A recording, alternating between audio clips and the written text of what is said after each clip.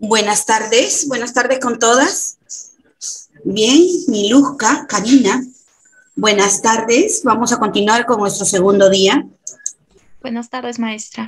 ¿Cómo están? ¿Cómo están? Buenas tardes, Miss. ¿Cómo estás? ¿Cómo estás? Buenas tardes, Miss Mechita. Ay, Miluquita, Janet, Romelia, Connie, Cristina. Buenas tardes, Miss. Amir Amir, qué buenas tardes, bienvenidas, bienvenidas. Eleonora, Karina, Romy Smith, Stephanie. Vamos a continuar con nuestro segundo día. Bien.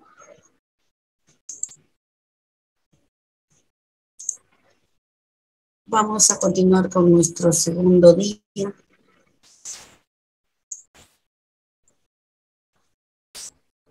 Se está compartiendo, ¿verdad? Sí, maestra. Perfecto, nuestro segundo día. Gracias. Nuestros acuerdos que tenemos que tener en cuenta, levantar la mano a través de las reacciones, prender la cámara si ustedes lo desean, en la medida que ustedes puedan, si, si desean siempre y cuando prender su cámara, ¿no? Eh, activar el audio cuando se desea participar y apagarlo cuando ya se ha culminado. Hay que ser puntual, muy muchísimas gracias por la puntualidad en el Con su barriga grande, grandote, me recién está en ocho. Mantener el audio apagado, por favor, cuando no se participa. Sí, cuando no, cuando no se participa, hay que mantener el audio apagado como una señal de respeto a los acuerdos.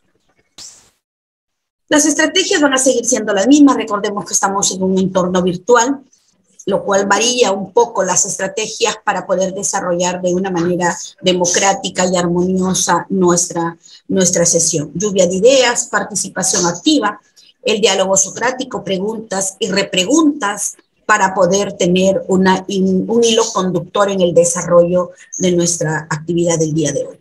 Hay que hacer siempre el acompañamiento, el seguimiento, el monitoreo, la retroalimentación para hacer mucho más rica la participación. El día de hoy, 7, nos corresponde realizar espacios materiales, mediación y retroalimentación. Eh, son dos horas y medias de trabajo. Y, este es el tema que nos corresponde. Pero ¿por qué hablar de espacios materiales, mediación y retroalimentación? Porque justamente si no contamos con todos estos elementos dentro de nuestro proyecto, sea de, de indagación, eh, resolución de problemas o porque quieres tener un producto, cual sea el que tú apliques o desarrolles con tus estudiantes, tienes que tener en cuenta estos detalles. ¿Por qué son importantes los espacios, los materiales en el desarrollo de los proyectos del nivel inicial? ¿Por qué serán importantes? ¿Alguien me podría decir por qué son importantes tener en cuenta los espacios, tener en cuenta materiales? O, o quizás yo pueda desarrollarlo sin tomar en cuenta esos aspectos.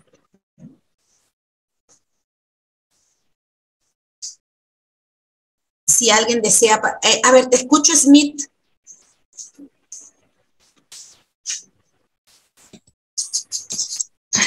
Buenas tardes, maestra. Buenas tardes, compañeras presentes.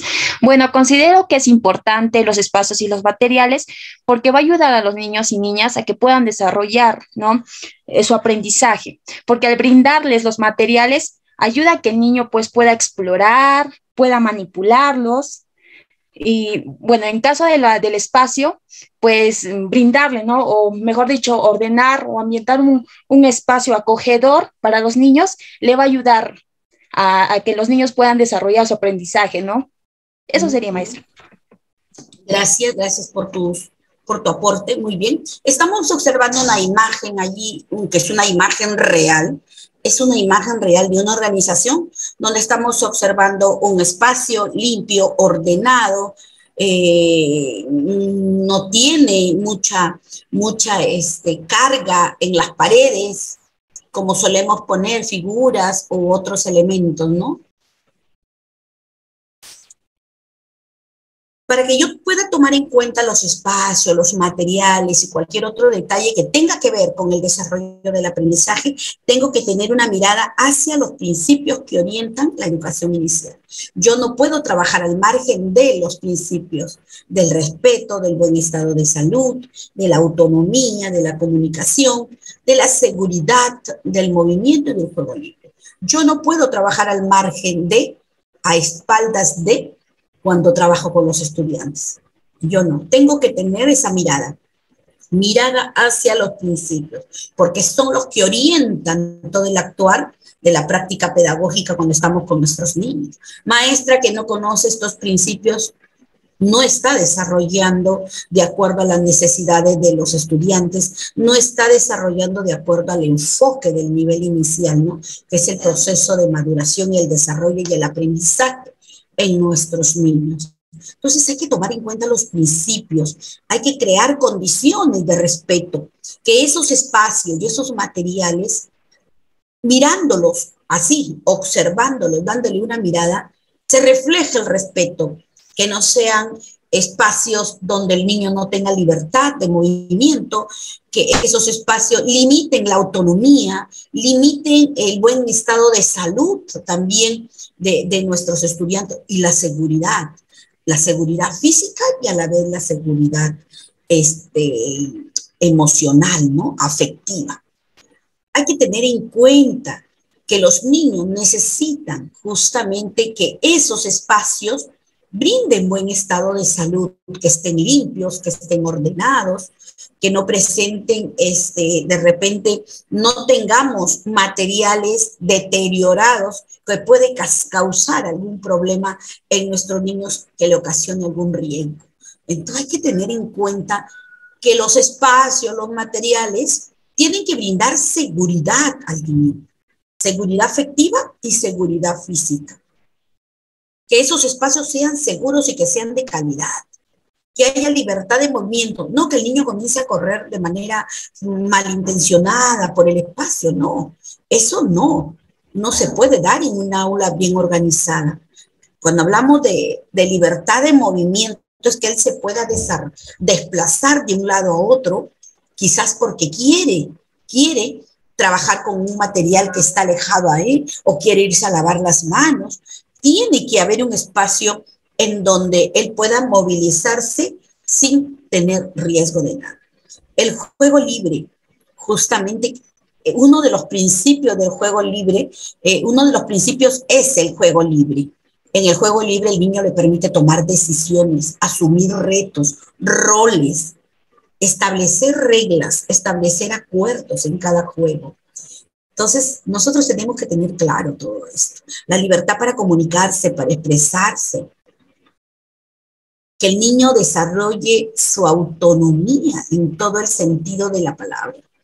Que el niño sea capaz de que él mismo se pueda comunicar por sí mismo y tome decisiones, se desplace, que sea capaz él de construir un entorno adecuado. Entonces, si nosotros no trabajamos en función a los principios orientadores del nivel inicial, estamos trabajando al margen de la realidad de nuestros estudiantes. ¿Qué es la organización espacial? ¿Por qué es tan importante la organización espacial? La organización espacial tiene relación con esos espacios pedagógicos en mi aula. ¿Cómo los organizo? ¿Cómo organizo el espacio en mi aula? ¿Qué tengo que tomar en consideración? ¿Cómo organizo también los espacios en la comunidad?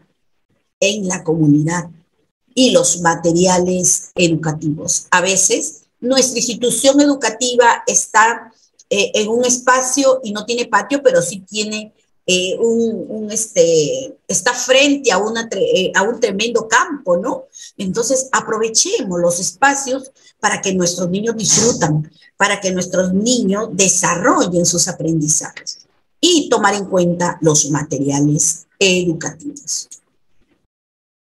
Bien. Hay que tener en cuenta la ubicación y la implementación de los sectores. ¿Sí? Hay que tener en cuenta desde una perspectiva activa Esos sectores se pueden movilizar, claro que sí. No es que se van a quedar ahí estáticos de por vida, sino el niño pierde el interés. Entonces nosotros somos las que tenemos que ir observando, mirando cuáles son los intereses de nuestros niños. Ese sector de, de, de, de este, construcción, si en un momento habían cositas de madera, eh, muchos materiales de madera como tronquitos, ramitas, pues comienzo a implementarlo con otros elementos, ¿no? De tal manera que el niño cada día vea más riqueza para su aprendizaje.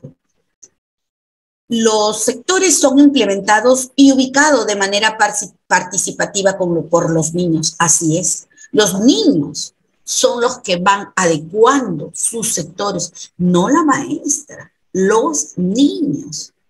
Ellos son, porque si no, no van a comprender la esencia de esos sectores en el aula. Si el niño construye, el niño aprende, el niño cuida, el niño sabe el por qué y para qué. Entonces, hagamos partícipes a nuestros niños en este desarrollo de la implementación y, la ubicación de los sectores en nuestra aula. Recordemos que tienen que responder a las necesidades e intereses educativos de los niños, que tienen que ser seguros, debe tener libre desplazamiento de nuestros niños y orden en el aula.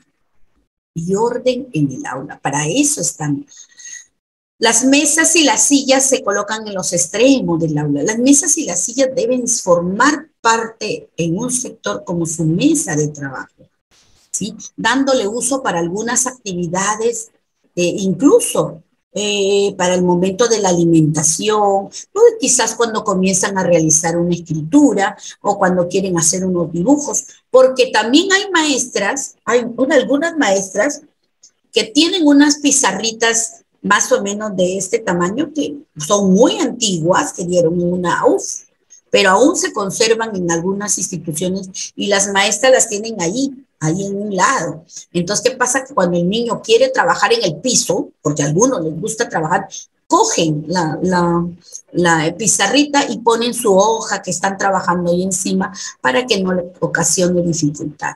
Entonces, hay que usar todos los elementos de tal manera que el niño disfrute lo que está haciendo y no sea la rigidez, la rigidez de estar sentado, ¿no? Sino que él disfrute con lo que hace. Los nombres de los sectores son flexibles, claro que sí, y se deciden con los niños, con los niños y las niñas. Se propone también un aula en donde eh, esté libre de mobiliario, de modo que al niño le, le, le, permita desplazarse. Encontramos aulas en donde los, los armarios, mobiliario que tiene la maestra, está que ocupa tanto espacio que limita al niño. Yo recuerdo mucho que en un aula de, de por lo menos de cuatro, cuatro por cuatro, Cuatro por cuatro, estoy hablando. ¿ah? Cuatro por cuatro, una aula súper, súper pequeña donde yo trabajaba. La maestra tenía un escritorio de dos metros por un y medio. Era un monstruo. Era un monstruo en esa aulita. Y conversando le digo, ¿no? cuando conversamos, pues entre nosotros, ¿no? Le digo, pero ¿por qué no lo sacas y le das libertad ay, no, no, no, aquí yo pongo mi papelote, aquí yo pongo esto, no, no, no. ¿Cómo a veces nosotros restamos el valor en el aprendizaje de nuestros estudiantes? Mayormente nosotros como maestras casi ni nos sentamos porque estamos monitoreando, estamos este, acompañando, dando vuelta por los sí, por los grupos de trabajo, estamos moviéndonos de un lado a otro, ¿no? Entonces, hay que pensar y tener la mirada hacia nuestros niños, no hacia nosotros. No, yo no digo de que no te vas a sentar, claro que sí, te puedes sentar, pero mayormente, mayormente cuando hay un escritorio en el, en el aula y una silla, la maestra se habitúa, se habitúa a dirigir de allí todo.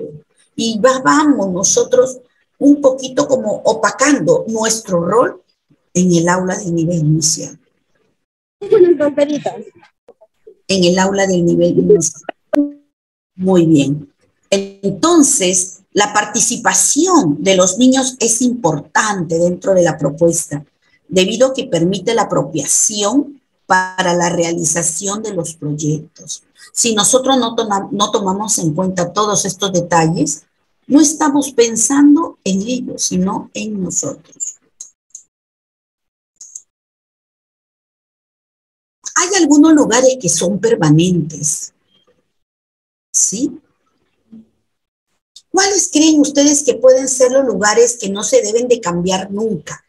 ¿Cuál creen ustedes que debe ser ese, ese lugar que es permanente y no se debe de cambiar? La escucho, cualquiera. Cualquier participación.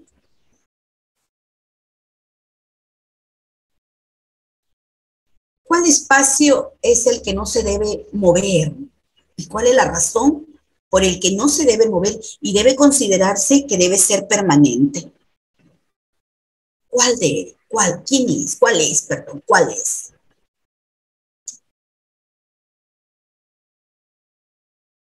Lluvia de ideas, amigas. Ustedes saben que no hay palabra maldicha, ni el error nos permite construir un aprendizaje. ¿Sí? Lo importante es participar. ¿Cuál será ese lugar que debe ser permanente? No se debe de mover para nada. ¿Cuál creen ustedes? A ver, Miluska, te escucho. Bien, Machita, buenas tardes. A ver, eh, pienso, ¿no? Que de repente el sector eh, personal social, o sea, la SEO específicamente, ya que puede estar al lado del lavatorio, puede estar cerca a, un espacio donde que es estático en el aula, ¿no? y es un poco dificultoso moverlo de repente, ¿no? Porque hay aulas donde que tienen un lavatorio, donde que los niños se lavan las manos. De repente ese, ese sector. Ya, yo te escucho tu punto de vista. ¿Alguna otra participación? Gracias, Miluska. ¿Alguien más desea participar? Para continuar. Bien, el sector, el sector, perdón, el espacio, el lugar que no se debe cambiar y debe permanecer por los años, por el tiempo, por el, por el año que va a estar el niño ahí, en la asamblea. La asamblea la colocas allí y allí la dejas. Allí la dejas. Si tú defines que ahí va a ser tu asamblea junto aquí la pizarra, frente a la pizarra, ahí la tienes que dejar a la asamblea. ¿Por qué? Porque nosotros formamos a los niños a través de rutinas, a través de rutinas. Y a través de esa rutina nosotros vamos formando al niño una memoria de trabajo. ¿Sí? Nosotros vamos desarrollando en el niño que ahí se realiza una acción, que ahí tiene que, es el orden. Porque si tú dices, hoy, ah, chicos, asamblea aquí nomás, y mañana dices, los niños te preguntan, mira, la asamblea, no, hoy día no hay. Acabaste con todo el trabajo rutinario y de ahí ese niños, esos niños no van a ser organizados. La asamblea es el lugar permanente, no se mueve de un sitio. La maestra que están viendo ustedes ahí, ese es como un, ese jardín plástico que hay, ¿no? Como una alfombra que hay. Ella lo hizo cortar a los papás y esa era, ahí, ubicó su su, este, su el orden que debemos nosotros promover en nuestros niños. Son muchas, muchas habilidades que se movilizan en el entorno a la asamblea. De ahí la necesidad de que el niño vaya fortaleciéndose allí en la asamblea. Tenemos también espacios de acción y de transformación. Ellos sí se pueden mover, son los sectores. Si tu aula es muy amplia, es amplia, entonces puedes poner los sectores que tú consideres y que vas a trabajar con los niños, porque ellos son los que van a, implementar, ¿sí? Y los pueden transformar. Pero si tu aula es muy pequeña, no los vas a limitar de no tener. Entonces puedes ubicarlos en cajas, en canastas o en bolsas. O en bolsas. De acuerdo a tu realidad, lo que encuentres, lo que hay, entonces lo puedes adaptar. Yo siempre recorría cuando estaba en las zonas muy altas, yo le decía a la maestra, bueno, porque me quedaba ya a dormir como tres días, ¿no? Entonces yo decía, este, por ejemplo, ella se llama Miriam, Miriam, después que se van los niños, ¿qué te parece si salimos a dar una vuelta por allá? Y comenzábamos a ver este, canastas que las tiraban. Y yo le digo, voy a recogerla, mañana la lavamos, la pintamos, le preguntamos si algún papá tiene y de repente, no, me dice, yo tengo pintura que me sobró de no sé, ah, bacán. Entonces la podemos llamar a los papás, ¿qué te parece en la tarde? Como me quedo tres días, entonces las comienzan a pintar, la lijan, vaya a ver por ahí alguna, alguna astilla, ¿no? Entonces bien bonita quedaba, muy bonitas. Adecuábamos todo, una tina vieja, la pintábamos, la decorábamos, de tal manera que nos servía. No, que no tengo, que no hay, que no sé qué. No. Eso no se puede escuchar en una maestra, porque somos creativas. Las maestras del nivel inicial somos súper creativas, súper creativas, somos movimiento.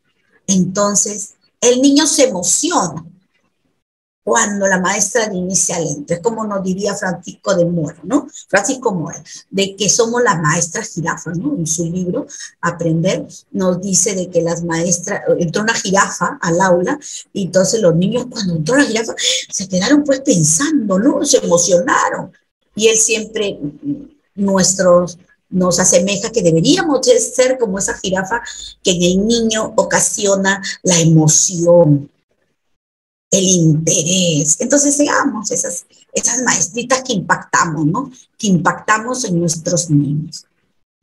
Bien. Vamos a hablar un poquito de los sectores. Y miren ese sector de, de, de sector de dramatización o juego simbólico que nosotros le ponemos el sector del hogar, ¿no? Que en algún momento puede ser una tienda o un restaurante o una peluquería, en fin. Miren, ella eh, ha puesto su mesa, tiene su, cocina que la ha hecho con los padres de familia. Los elementos que están dentro de la cocina eh, casi son, este, por decirlo, eh, muy reales, ¿no? A lo que es la olla, no es la ollita chiquitita, la tacita, no, sino es real y de ahí puso unos, unas maderitas, las pegó así en la pared, un padre vino y las colocó. Y ella comenzó a darle la armonía, puso un reloj, puso un reloj, pero hay algo muy importante, algo muy importante que aquí lo estoy, lo estoy señalando, en este ladito. Hay algo muy importante, que aquí hay una producción del niño. Aquí hay una producción del niño que aquí dice que es el sector del hogar. También hay un espejo, hay tacitas, un florero y encontramos también unos este, recetarios. Recetarios para que el niño o niña, porque hay niños que les gusta ser chef también, ojo, que aquí no hay de que porque es niña va a ir al sector del hogar y los niños, no, los niños se van al sector de construcción, no, igualdad de género, ¿qué quiere decir? Que los roles se deben de asumir, ¿sí? El, el niño también puede cocinar, claro que sí, si no, miremos cuántos cuántos chefs reconocidos tenemos nosotros en el Perú y que son varones y que cocinan delicioso. También hay mujeres que, muy, muy representativas en la cocina, y, y, eso no quiere decir que porque es mujer solamente va a la cocina, no, ahí estamos hablando del enfoque de género, ¿sí? Los roles son definidos, pero no son exclusividades de un género. Bien, hoy encontramos hasta mujeres ingenieras, mujeres que son este, que manejan mototaxi, trailers, ¿no? Trailer, cosa que antes se que la mujer era muy, muy, este, ay, muy fina, se puede romper, se puede quebrar, se puede pasar algo. No, nada que ver. Nada que ver. La mujer y el hombre tienen las mismas oportunidades y eso nosotros tenemos que dejarlo bien claro con todos nuestros niños. Los niños tienen la misma oportunidad. No, pero mi papá es que no, no dice que él dice que no, que los hombres no lloran. Hay cosas que nosotros tenemos que ir poco a poco con nuestras, con las actitudes que nos demuestran los niños con sus acciones. Nosotros vamos manejando en los proyectos para ir mejorando el actuar de esos niños, ¿sí? Y también de los padres de familia, también de los padres de familia. Entonces, mira la riqueza que nos da cada sector cuando los tenemos implementados. Esto fue implementado con los niños, ¿ah? Con los niños. Había todo esto y la maestra le preguntaba, y cuando hizo su proyecto, de hecho que cuando hizo el proyecto que fue el primer, el segundo, primer proyecto, por decirlo así, la organización del aula primero organizar, organizaron un sector, lo que ellos quisieron, que iban a traer, todos los elementos que habían, ¿no? Y la maestra le iba dando por ahí pinceladas, y si, y si ponemos un, un, este, un espejo, Ah, sí, maestra, para mirarnos, claro, claro que sí, porque en tu casa hay espejo, sí, sí, sí hay. Entonces pongamos un espejito. Iban compartiendo. Recuerden que este sector permite que nuestros niños hagan el juego simbólico, que lo que el niño evoca, evoca de todo lo que hace en la vida, lo evoca allí. Allí en el juego lo expresa, lo representa. Y es por eso que nosotros tenemos que tener bastante cuidado cuando los niños están en los sectores y observar las situaciones que se presentan. Porque si no, no vamos a, a poder trabajar y las situaciones a veces pueden salir de control, ¿sí? Entonces, en el sector del hogar, en este momento es un sector del hogar, en otro momento será una tiendita, en otro momento un restaurante, una peluquería, una pastelería. Yo vi una maestra que había, tenía su sector del hogar y tenía la pastelería y la tenía casi muy, muy hacinada. Bueno, yo le recomendé que por el espacio que ella tenía, debería de escoger y ponerlo en debate a los niños, ¿no? ¿Qué es lo que les gustaría ahora este, colocar en este sector, ¿no? En este sector los materiales que nosotros consideramos son los títeres, los muñecos de familia, animales domésticos y salvajes, telas de diferentes tamaños y colores porque los niños se colocan como mantitas, se visten, se disfrazan, utensilios de cocina, muñequitos diversos, carritos, también pueden ir carritos, accesorios propios de la comunidad. Muñecos de peluche, máscara, accesorios de ropa de adultos y de trabajadores típicos de la comunidad. Pañuelos o telas de diferentes colores y tamaños. Recordemos que aquí podríamos usar a los padres de familia, porque los padres de familia podrían hacer frutas, verduras tejidas que hacen unas maravillas, animalitos, muñecas. Entonces, podrían trabajarlo en un taller con padres de familia para que puedan desarrollar un, espacio acogedor, un espacio cálido, un, un espacio que promueva interacciones de calidad, unas interacciones afectivas y efectivas. Y en esas interacciones los niños logran muchos aprendizajes. Tenemos el sector de construcción. Esta, este, esta, ah, esta escuela fue creada por un programa vinculado al Banco Interamericano de Desarrollo, al BID. Por lo tanto, tenía esos, esos armarios, ¿no? Esos armarios eran al revés, se veían bien altos. Entonces, con la maestra, ¿y si los volteamos? Bien, pero van a ver algo, algo que están observando aquí, aquí en estos, ¿qué es lo que observan aquí ustedes? Aparte de los de los materiales que ven que son de diferentes tamaños sólidos, son sólidos, de diferentes formas y tamaños. ¿Qué es lo que observan allí? ¿Alguien me puede decir? A ver, ¿qué están observando aquí? Aquí, aquí, aquí, aquí en estos. Algunos se ven aquí, por aquí en este más se ve. ¿Sí? Vemos los sólidos, pero hay algo más característico. A ver, ¿qué ven allí? En este espacio, en este, este se ve más cercano están viendo los sólidos, hay prismas, hay conos, hay este paralelogramos de diferentes tamaños.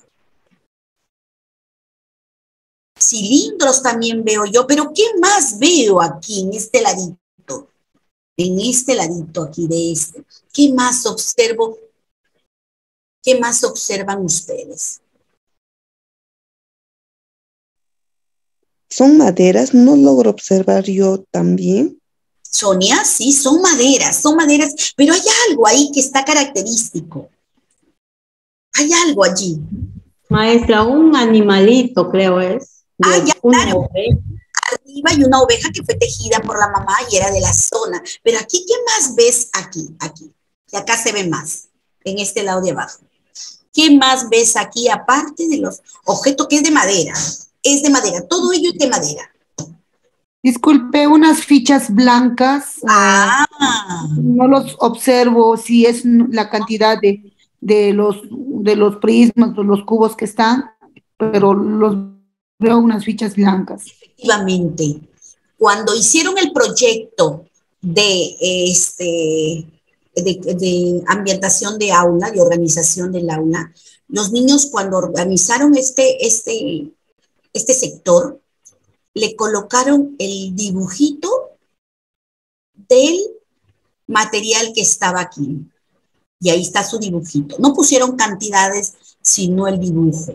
Luego el siguiente, que estaba al lado, también su dibujo. Y el siguiente estaba ahí. ¿Por qué? ¿Para qué?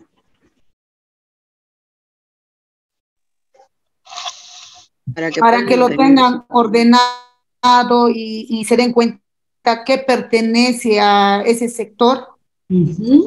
Efectivamente. lo tengan ordenado, organizado. Exacto. Por eso cuando el niño jugaba, terminaba de realizar el juego, la maestra ya se había tomado el trabajo, de hecho, de explicar todo esto. Ella ahora observaba. Entonces veía que todos iban y lo dejaban ordenadito, donde correspondía donde correspondía. Se dan cuenta. Pero ¿qué hacen nuestros niños? Cogen todo, lo dejan allí, ¿no? Ese es el rol de nosotros, el orden. A ella le costó un mes, ¿ah? No es que lo aprendieron en un momento, porque es un aprendizaje, es una rutina. Al mes yo regreso porque yo iba cada mes tres días con ella, cuatro días a veces que ella me pedía. Quédate, me echo un, día más. Ya, no hay problema, me quedo. Entonces, cuando yo regreso, yo ahora observaba, ¿no? Y yo veía cómo ellos iban ordenando, ¿no? Sus materiales. Al final, ya pues, cuando terminé, ya, ya se fueron los niños, me quedo con ella. Bajamos ya al pueblo, íbamos conversando, le digo, lo lograste. Sí, pero todos los días, todos los días. Ahora, ¿cómo te sientes? Ah, feliz. ¿Por qué? ¿Por qué? Así en, unas, en, un sentido este, de, risa, de chiste, me dice, que ahora ya no hago nada. Ellos me dejan limpio el salón. ¿Qué te dije yo? ¿Qué te dije yo? Al niño se le explica, se le hace una rutina y un orden, y tú no sabes lo maravilloso que estás haciendo con esos niños, porque van a ser súper ordenados de aquí hasta su vida adulta. Porque es un aprendizaje que ya queda instalado, pero tienes que hacerlo todos los días. Ya lo aprendieron, sigue mirando, sigue observando. ¿Sí? Es más, ella cuando terminaba la, ya toda la jornada pedagógica a la salida, ella había tomado una forma de evaluar todo lo que estaba allí. A ver, Nos ubicamos, niños, decía ella. Eh, vamos a mirar, a ver, ¿qué les parece cómo ha quedado el sector de construcción? ¿Estará como lo encontraron? Sí, profesora, a ver, uno siempre, ustedes saben que siempre hay un niño que bien, ¿no? Y va a mirar, yo voy a mirar, profesora, y va mirando, sí, profesora, lo ha hecho muy bien, ¿sí? Entonces, ella evaluaba, evaluaba, no decía, le voy a poner una nota, lo voy a castigar, se quedan hasta tarde el que no lo ha hecho. No. Entonces, ella evaluaba ese proceso todos los días y el niño sabía que todos los días tenía que dejar tal como lo encontró, tal como lo encontraron. ¿Sí? Eso ya era una rutina, era el orden, la responsabilidad que el niño estaba asumiendo. Igualmente, en, en la pared tiene su cartel que el mismo niño lo hicieron en su proyecto. Aquí está el sector de construcción. Sí, igualito puso dos, dos maderitas con animalitos, puso sus, sus este, canastas con madera, con tubos de PVC, por acá un, tronquito, los pellejitos en el piso, para que los niños no sientan frío, porque era una zona fría, ¿no? Entonces, en este sector de construcción, vamos nosotros a tomar en cuenta cómo el niño se va relacionando con el espacio, cómo va viendo las características de los objetos, cómo desarrolla un trabajo colaborativo, porque ahí, este, ahí comenta, ahí él este, se relaciona, interactúa, cómo hace una construcción creativa. Aquí podemos usar material estructurado y cuidado, ¿no? Como las botellas de plástico de diferente. Cuando yo coloque botellas de plástico en un sector, no voy a colocar 20 botellas, no. Una botella, ahora hay botellas de plástico de este tamañito, de este tamañito, de tal manera que él vea diferencias, grosor, es, este, tamaño.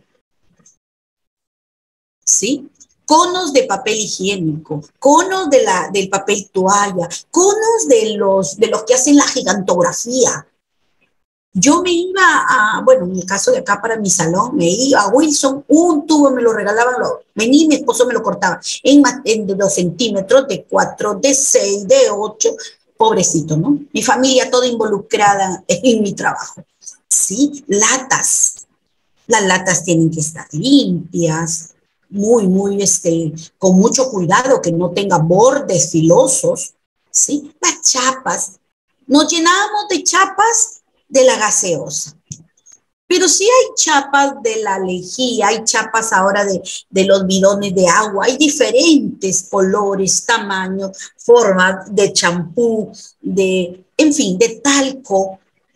El niño debe tener variedad, variedad para que le dé oportunidad de que él mismo pueda ser creativo en todo lo que está haciendo.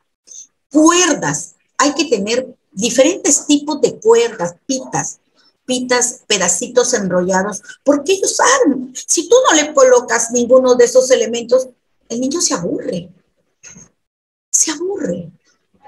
Yo le ponía hasta, em, ¿cómo se llaman esos candados? bien grandote, con mucho cuidado, siempre monitoreándolos, siempre con su llave. Ahí pegada, amarrada al candado para que no se pierda. Ellos trataban de ver cómo lo abrían, como unos, unos pernos con unas tuercas grandes, más chicas, a los niños de cinco años, porque los niños de tres hay que tener bastante cuidado, ¿no? Muy bien. Entonces, el material estructurado, como los bloques de madera que están viendo ahí, de diferentes este, tamaños, formas, cubos de madera, bloques de plástico, bueno, y el ministerio que también ha dado muchísimos, muchísimos materiales más. Los juegos tranquilos. Por algo se les llama juegos tranquilos. Miren, este, la maestra ha colocado en ese sector de juegos tranquilos una, una, unas este, ramas, unas hierbas que hay en su entorno, que son blancas, pero ella lo logró pintar, ¿no? La logró ahí pintar para que le dé armonía, armonía a ese sector. porque el sector tiene que tener armonía, el sector tiene que tener creatividad, así como tú cuando arreglas tu casa y le pones el florero, que por aquí el mantel, que por acá un, un, este, un, un portarretratos, un vaso con piedras, con cositas de colores, es igual. Es igual. Es tal cual el niño debe recibir, es tal cual. Es decir, nosotros tenemos que tener un sector que sea provocador, un sector que tenga armonía, un sector que llame la atención, que me provoque estar ahí. Entonces, aquí encontramos rompecabezas, nudos, juegos de memoria. Recordemos que este, este sector permite desarrollar justamente la capacidad de análisis, de síntesis. Claro que también va asociada con la coordinación motora, ¿no? Va asociada. Pero aquí el niño, como le dice, juegos tranquilos porque es un juego más personalizado. Él está que arma el rompecabezas, él está en el dominó que encaja, pero el dominó es caro. Yo no lo puedo tener, claro que sí. De repente un padre de familia puede hacerlo. Entonces nosotros mismos tenemos que ver la forma de cómo, cómo agenciarse para tener todo ello. ¿Sí? Juego de damas, bloques, eh, dados también, regleta de colores, relojes. Hay que tener todos esos elementos, todos elementos que me va a permitir a mí poder trabajarlo. Ojo, y no se olviden que en cada sector debe haber unas hojas y unos lápices, porque el niño de repente quiere pintar aquí algo, quiere hacerlo. Y debemos de proporcionarle, debemos de brindarle oportunidad. No, no, no, ahorita no me toca mi comunicación. No, no, no. Tenemos que aprovechar todos los momentos justamente para rescatar de nuestros niños sus aprendizajes. ¿Sí? Bien. Están observando aquí ustedes, aquí con mi mano, estoy moviendo con el cursor, una hoja blanca, ¿verdad? Y también acá están viendo que los mismos niños con sus imágenes han puesto el nombre del sector. ¿Para qué será esa hoja blanca?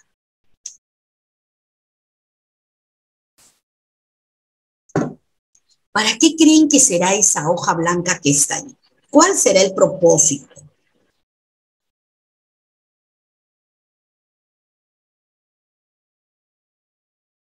A ver, escucho a cualquiera.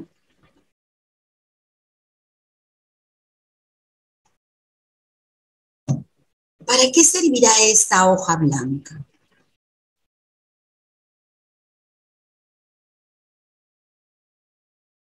Incluso abajo tiene su lapicito, le ha puesto la maestra en una latita.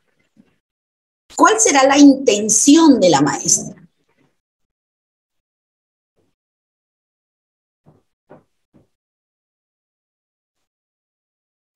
A ver. Miluska, ¿tienes tu mano levantada?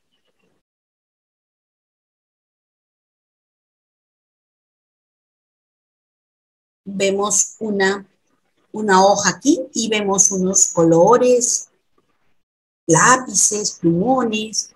¿Para qué será? ¿Para qué servirá?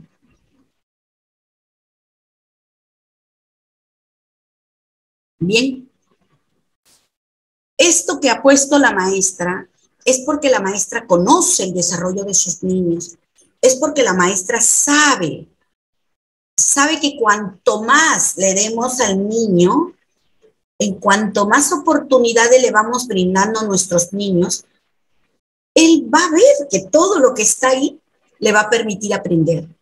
Aquí la maestra ha colocado un papel en blanco, claro que sí, y coge el niño cuando va al sector coge un plumón o un, y coloca su nombre. Claro, lo coloca como él sabe escribir. En todo momento la maestra está dándole al niño. No le dice, hoy día vas a aprender a escribir tu nombre. No, ella les dice, Hoy, cuando van a ir al sector, ya les ha explicado, no se olviden, escriben su nombre. Ni, yo no sé. Claro que sí sabes. Mira, vamos. Muy bien. A ver, repite tu nombre. Ma, ma, ma. Manuel. A ver, el niño pone por ahí una E, porque está en ese nivel. Entonces, nosotros tenemos que en el niño brindarle todas las oportunidades en donde él promueva sus aprendizajes. No esperemos llegar a la sesión. No esperemos darle una hoja para que copie su nombre. Desde aquí el niño, de manera libre, de manera espontánea, ya está aprendiendo a escribir, de acuerdo a su nivel de escritura. Entonces, mire, ¿para qué nos sirven los sectores? Siempre y cuando los implementemos bien y sepamos por qué lo hacemos. No es solamente poner los sectores, los materiales y que vayan a jugar en el momento de la hora del juego libre. Va a jugar la hora ¿Con quién vas? ¿A dónde vas? ¿Qué vas a hacer? ya, muy bien. Representa, expresa. Verbaliza qué aprendiste. No. Miren todo lo que trae detrás justamente la implementación de los sectores de aprendizaje.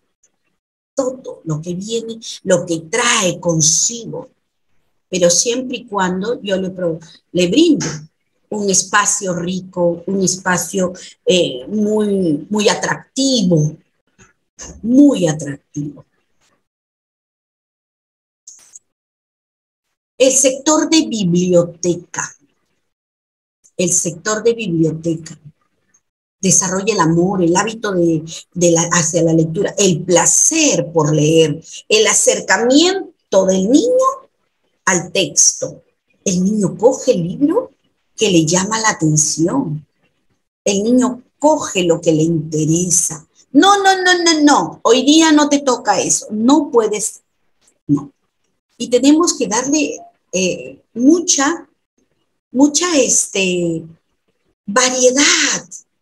Ahí hay una canasta de, de títeres, vemos colores, hojas, láminas, textos, incluso en, el piso la maestra que ha puesto una manta, eh, ha puesto un libro abierto, ¿no? Como que le llama la atención al niño, revistas, libros, y no deben faltar los papeles, ni los, las crayolas, los colores, porque los niños tienen que disfrutar ese momento ese momento no es para que el niño, a ver, dime qué ha leído y dime rapidito, a ver qué, no, no, está mal, no. El niño te lo dirá y el niño, en la medida que él lo ha aprendido, lo ha adquirido, él te lo va a decir. Incluso puede exagerar, porque es la creatividad del niño. No es que está diciendo mentiras. La imaginación de nuestros niños vuela vuela. Somos nosotras las que a veces ya no tenemos creatividad, pero ellos, ellos tienen una creatividad, pero inmensa, para decir las cosas increíblemente. El niño a veces este, nos hace hasta dudar, nos hace dudar. Entonces hay que nosotros ser creativas también cuando tratemos de hacer todo ello, todo lo que los niños pueden hacer. ¿Sí? Bien, entonces este sector permite desarrollar el amor, el placer hacia la lectura, que es la esencia de nuestro nivel inicial. Pero ¿cómo lo voy a desarrollar? Con libertad, con, variedad de materiales, con diversidad de materiales, muchos materiales ahí. Yo recuerdo que llegué a una escuela y y creo que de cada libro habían, de cada libro habían como 20 libros, de uno solo 20. Y los 20 estaban puestos ahí. Ahora vamos a seleccionar, a ver qué les parece. Uno, uno, uno, uno quiero. Entonces, hay que tener en cuenta nosotros lo que el niño necesita, hay que escucharlo, hay que escucharle esas necesidades. Arte. Este es un sector de arte. Tiene materiales, tiene variedad de materiales en donde el niño se acerca a coger con total autonomía lo que va a realizar. No es que niños, hoy pintas con crayolas, toma, aquí está, ¿ve? No. Un niño que ha trabajado de manera permanente cómo se desarrolla el trabajo en los sectores, es ordenado, deja todo organizado, pero un niño que la maestra no lo ha hecho a trabajar de esa forma, ha hecho que va a hacer cosas que, que, no es que sean inadecuadas, sino que no se le enseñó al niño a hacerlo, no se le enseñó. Igualmente, la, los niños aquí han representado al sector, hay tijeras, pinceles, él ha dibujado, pero también vemos las tres, tres círculos que es lo que está indicando cuando ya han trabajado el juego libre en los sectores y han llegado a un acuerdo de que tres niños van a ir a este sector, tres niños van a ir al otro, al otro, al otro, dependiendo al acuerdo que hayan llegado. ¿Por qué? Porque según la guía de orientaciones a mí me dice que los niños pueden ir a cualquier, pero si tú tienes 20 y los 20 se te van al sector de construcción, ¿qué vas a hacer? Desorden total.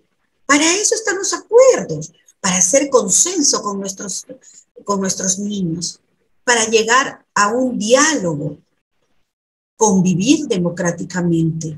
Bien, entonces llegar al acuerdo que como son 20 niños y son cinco sectores, entonces vamos viendo cómo lo vamos este, dividiendo, a ver cómo lo hacemos. Pone las chapitas y los mismos niños van organizando. Muy bien, entonces queda que cuatro niños van a cada sector. Llegamos a ese acuerdo, muy bien, entonces nos ponemos a trabajar las imágenes que van a ir a cada sector. Acá cuatro. A ver, ¿qué más, qué grupo le falta pegar? Vas tú observando cuando tú organizas todo eso, que es tu, tu, tu primer proyecto, organización de aula.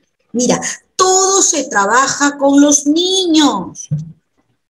Si no, el niño no va a interiorizar la necesidad. Y tú te cargas de trabajo y el niño no aprende nada. Igualmente, acá está el letrerito anaranjado con unas rayas que la maestra le ha puesto rayas, en el otro no había rayas, acá sí le ha puesto rayita, ¿no? Como aproximándolo a la linealidad, ¿no? Ella no le está diciendo, a ver, ¿qué hace el niño? El niño intuye de repente y escribe sobre la rayita, ¿sí? Entonces, para que coloque quién, quién va a ir a ese sector. Tiene también su canasta de la zona con los materiales eh, lustre, cartulina, lo que el niño va a emplear, lo que el niño necesitará. Y los niños saben organizar todo. Yo me he sorprendido con todo el trabajo que pueden hacer los niños. Es sorprendente. En este sector, el niño representa, el niño crea, el niño saca su mundo interior y también lo que le rodea. Empieza él a través del dibujo, que no vamos a hablar del dibujo porque el dibujo sería un tema muy largo de tratarlo, ¿no? A través justamente de lo que él representa, sea dibujo, sea una actividad este, plástica que lo ha hecho con, con arcilla, con masa, con plastilina, ¿sí? Entonces, él evoca, él saca ahí su mundo interior, representa sus vivencias, representa sus situaciones, algo que es muy significativo para él justamente ahí lo representa. Esto le permite justamente ejercitar su motora fina, ¿no? Que van a ser bolitas para la motricidad fina, van a ser rasgadito para la motricidad fina. Por favor, por favor, trabajemos de acuerdo a las necesidades de nuestros estudiantes, de nuestros estudiantes. ¿Sí? Puede dibujar, puede pintar, puede modelar, puede usar la témpera si quiere, puede usar sus manos también. En fin, démosle las oportunidades. Bien, los materiales, como ven, son diversos. Hay papel en estas botellas, ella colocó papeles de crepé de diferentes colores que el niño cogía, jalaba y hacía él, lo rasgaba porque él lo quería rasgar. No porque la maestra decía, van a rasgar papel, van a hacer bolitas. No. Había un niño que jalaba para hacer bolitas y yo lo observaba, ¿no? parecía el niño, no sé si han visto esa, ese corto de la flor, cuando la niña va a un colegio y, y, le dejaban hacer libertad para dibujar, pero luego la cambian de colegio y la, el maestro le dice, no, tienes que hacerlo así la flor. No, tiene que ser así la, pobre niña cuando va después al siguiente colegio, se le metió que la flor era como el maestro le había dicho. ¿Cierto? hasta que encontró una maestra que le dijo, no, haz como a ti te guste. Es igual, ese niño hacía pura bolita, pura bolita. Y bueno, me sorprendió, ¿no? Yo también me senté hacer bolitas como él. Y, él me pregunta, este, ¿y no te duele? Sí, me duele. A mí también. ¿Y por qué las haces? Porque la misa a mí me enseñó que nomás, no, pero tú puedes hacer lo que quieras. Y ahí comenzó el niño ya a trabajar con lo que había, con lo que tenía. Se había quedado que solamente es era arte. Mira a veces cómo llegamos nosotros a, a, ser tan potentes en, la, en, en, el trabajo del niño, en sus experiencias, ¿no? No marquemos experiencias de esa manera, sino que sean ricas, que sean muy gratificantes, que sean muy, muy este, detonantes, ¿no? Que el niño disfrute, que el niño se emocione. Ciencias. Acá vemos un sector de ciencias, ¿sí? Acá tiene su arena. Hoy sí, pero la maestra ha presentado esto, que, esto es muy bonito. Esto es un colegio nacional que tiene todo esto. Pero eso no quiere, no quita, no quita que nosotros lo podamos hacer. Aquí te permite que el niño descubra las características y las propiedades de los objetos, ¿no? Que experimente, que observe, que manipule. Entonces, ahí va conociendo incluso nociones básicas eh, como cantidad, peso, volumen, siempre y cuando le brindemos las oportunidades. Pero si no tiene el material, de hecho que no va a hacer esto. ¿Sí?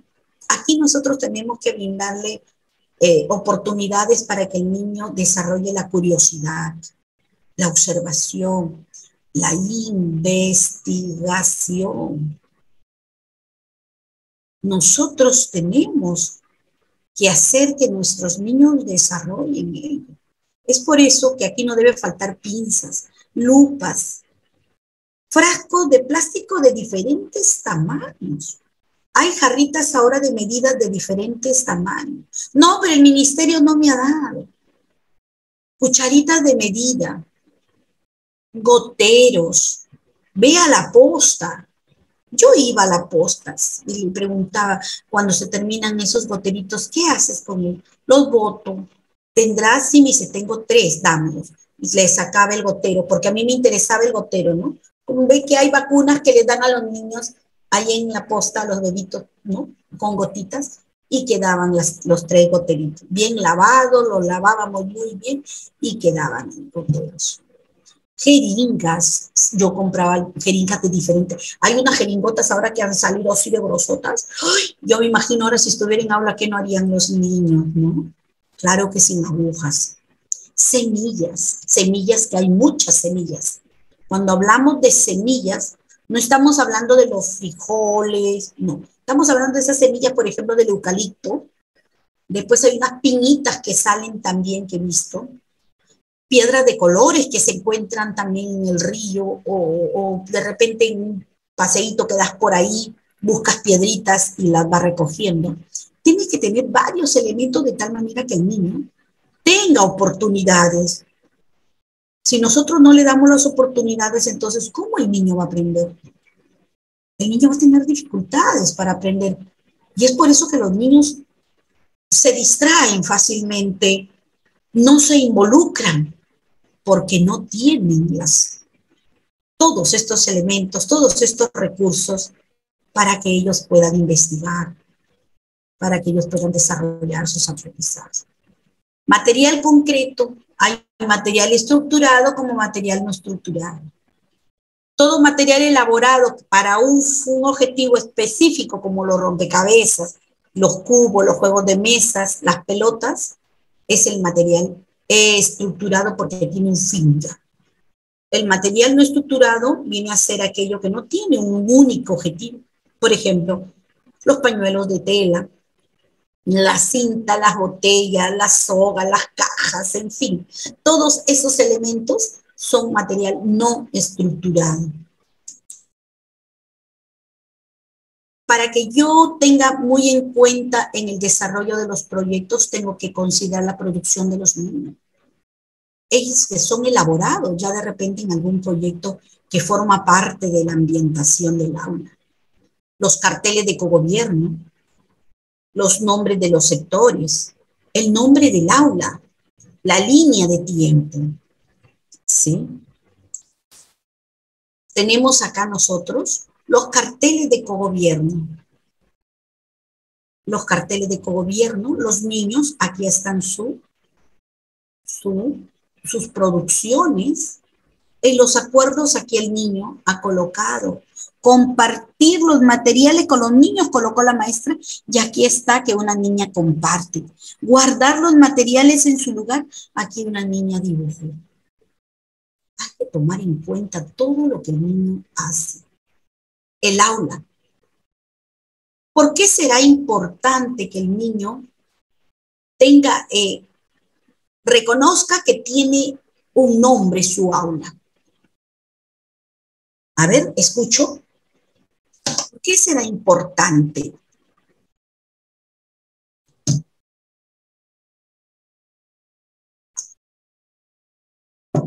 A ver.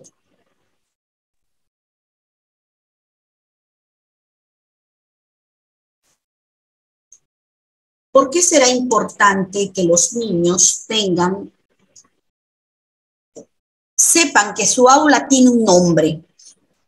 ¿Por qué será importante trabajar el nombre del aula.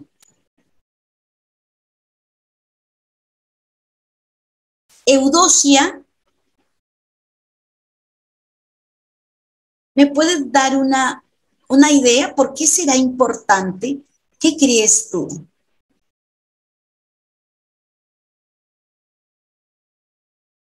Maestra, ¿sería para desarrollar la identidad? Mm, muy bien, claro que sí. Así como tienes un nombre, también tu aula tiene un nombre muy significativo. Y es importante que nosotros trabajemos un cartel, un cartel donde identifique quiénes son los que pertenecen a esa aula.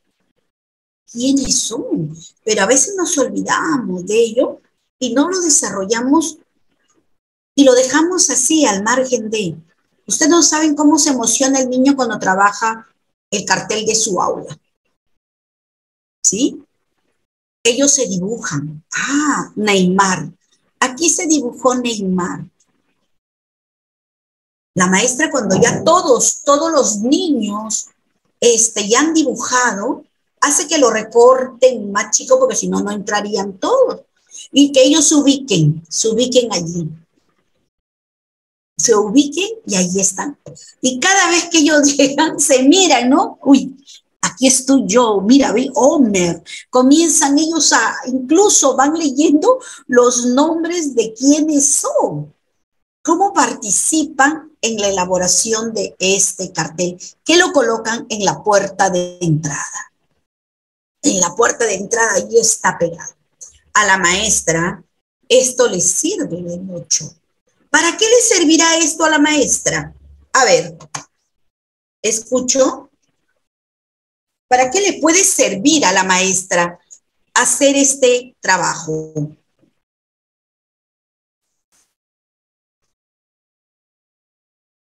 A ver. ¿Para qué le puede servir?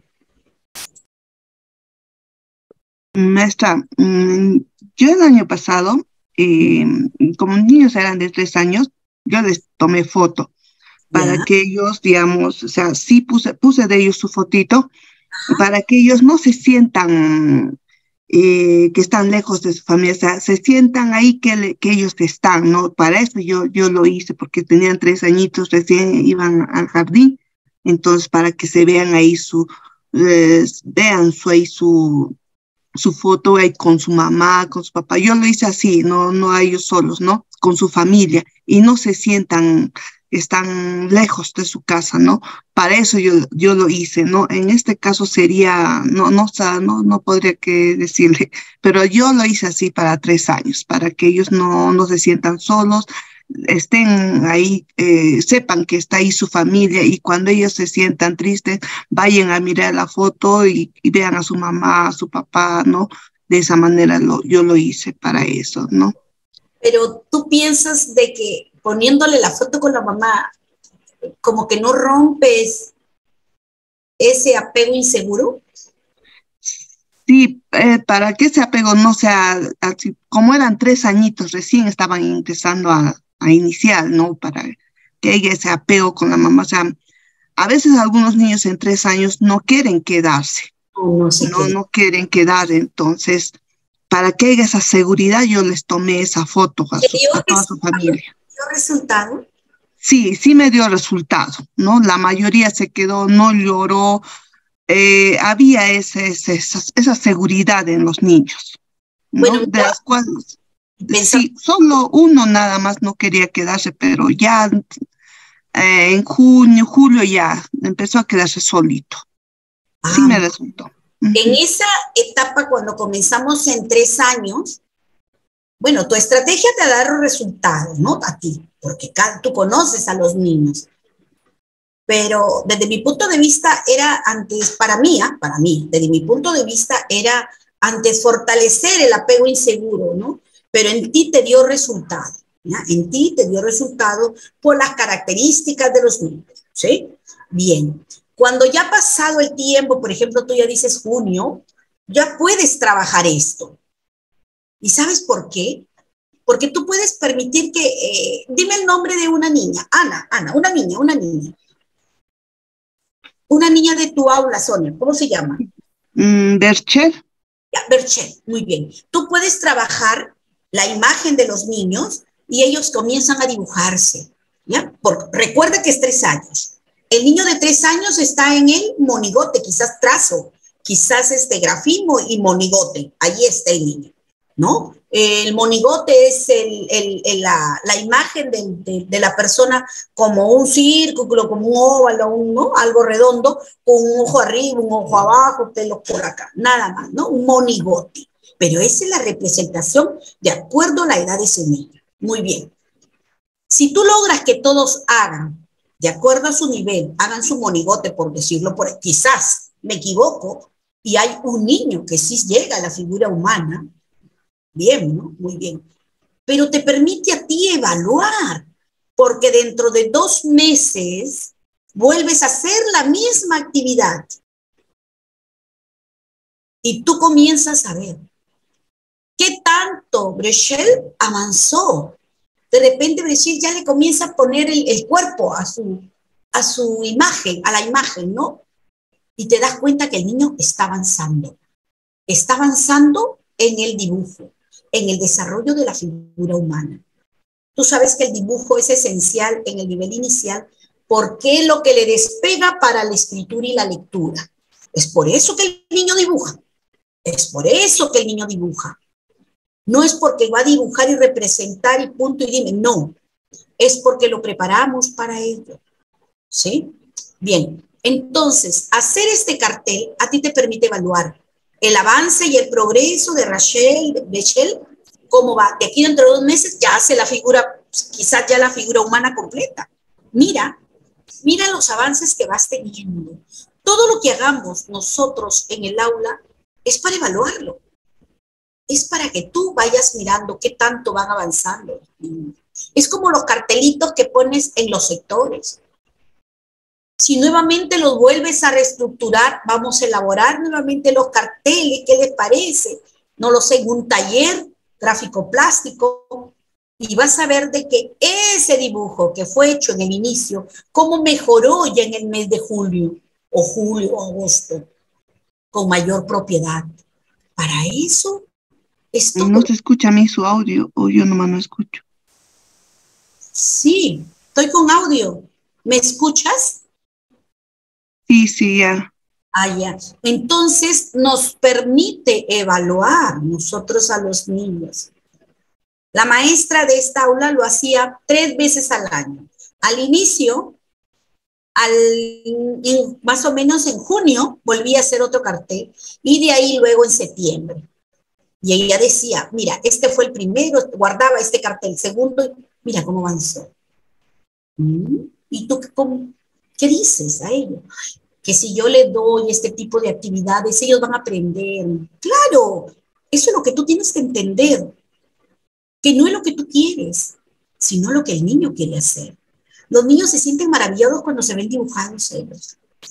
Ellos dicen que se sienten, cómo se sienten. Mírame, Meche, me decía, aquí estoy yo. Sí, y veo a muchos más, te decía yo, ¿no? Sí, entonces el niño disfruta. También el cartel a guardar, todas las cosas que ellos llevaban, como por decir su, su chompita, llevaban ahí algo de comida, algo, ¿no? Este, que a veces llevaban, porque ellos comían en la escuela, eh, los guardaba aquí. De ahí a guardar, hicieron una canasta y a guardar. Todo tiene que estar hecho por los niños. La línea de tiempo. Esta es la línea de tiempo que tiene, que tiene un, una intención. Aquí está todo lo que el niño hace durante ese día. Empezó con la rutina, las actividades permanentes, el, juego libre en los sectores, en fin, como la maestra lo haya planificado hasta la salida. Cuando el niño ya se va, la maestra lo recoge de aquí y lo coloca en una canasta que está por acá. Y al día siguiente, un niño se para y va colocando lo que va haciendo. Aquí está enseñando nociones temporespaciales, sin siquiera decirle mañana pasado, hoy, ayer. No, el niño lo va aprendiendo que hay una secuencia, que hay algo secuencial en todo lo que realiza y que en todo lo que realiza hay un orden establecido. De que no, que voy a hacer ahorita esto, mañana pasa. No, no, no hay un orden establecido. Es más, ellos se acostumbran a decirle a la maestra, maestra, no hemos puesto todavía, ¿ve? Ah, anda, colócalo, le dice la maestra. Y va, hemos hecho psicomotricidad, busca el niño en la carterita, en la, en la canastita, la tarjeta que dice psicomotricidad porque lo asemeja al juego que ve ahí, porque son ellos, son fotografías de ellos mismos que la maestra ha colocado aquí. ¿Sí? En un comienzo ella puso imágenes que ellos dibujaron. Luego ella misma quiso manejarlo así. Le he tomado fotografías y lo, muy bien, lo puso en mica y lo trabaja de esta manera. El niño tiene un orden ya establecido. Sabe que sigue, que va siguiendo, que va siguiendo, que continúa, que viene. Él ya sabe. Ya no hay, maestra, vamos a comer la lonchera, maestra, no, no, no, no queda establecido.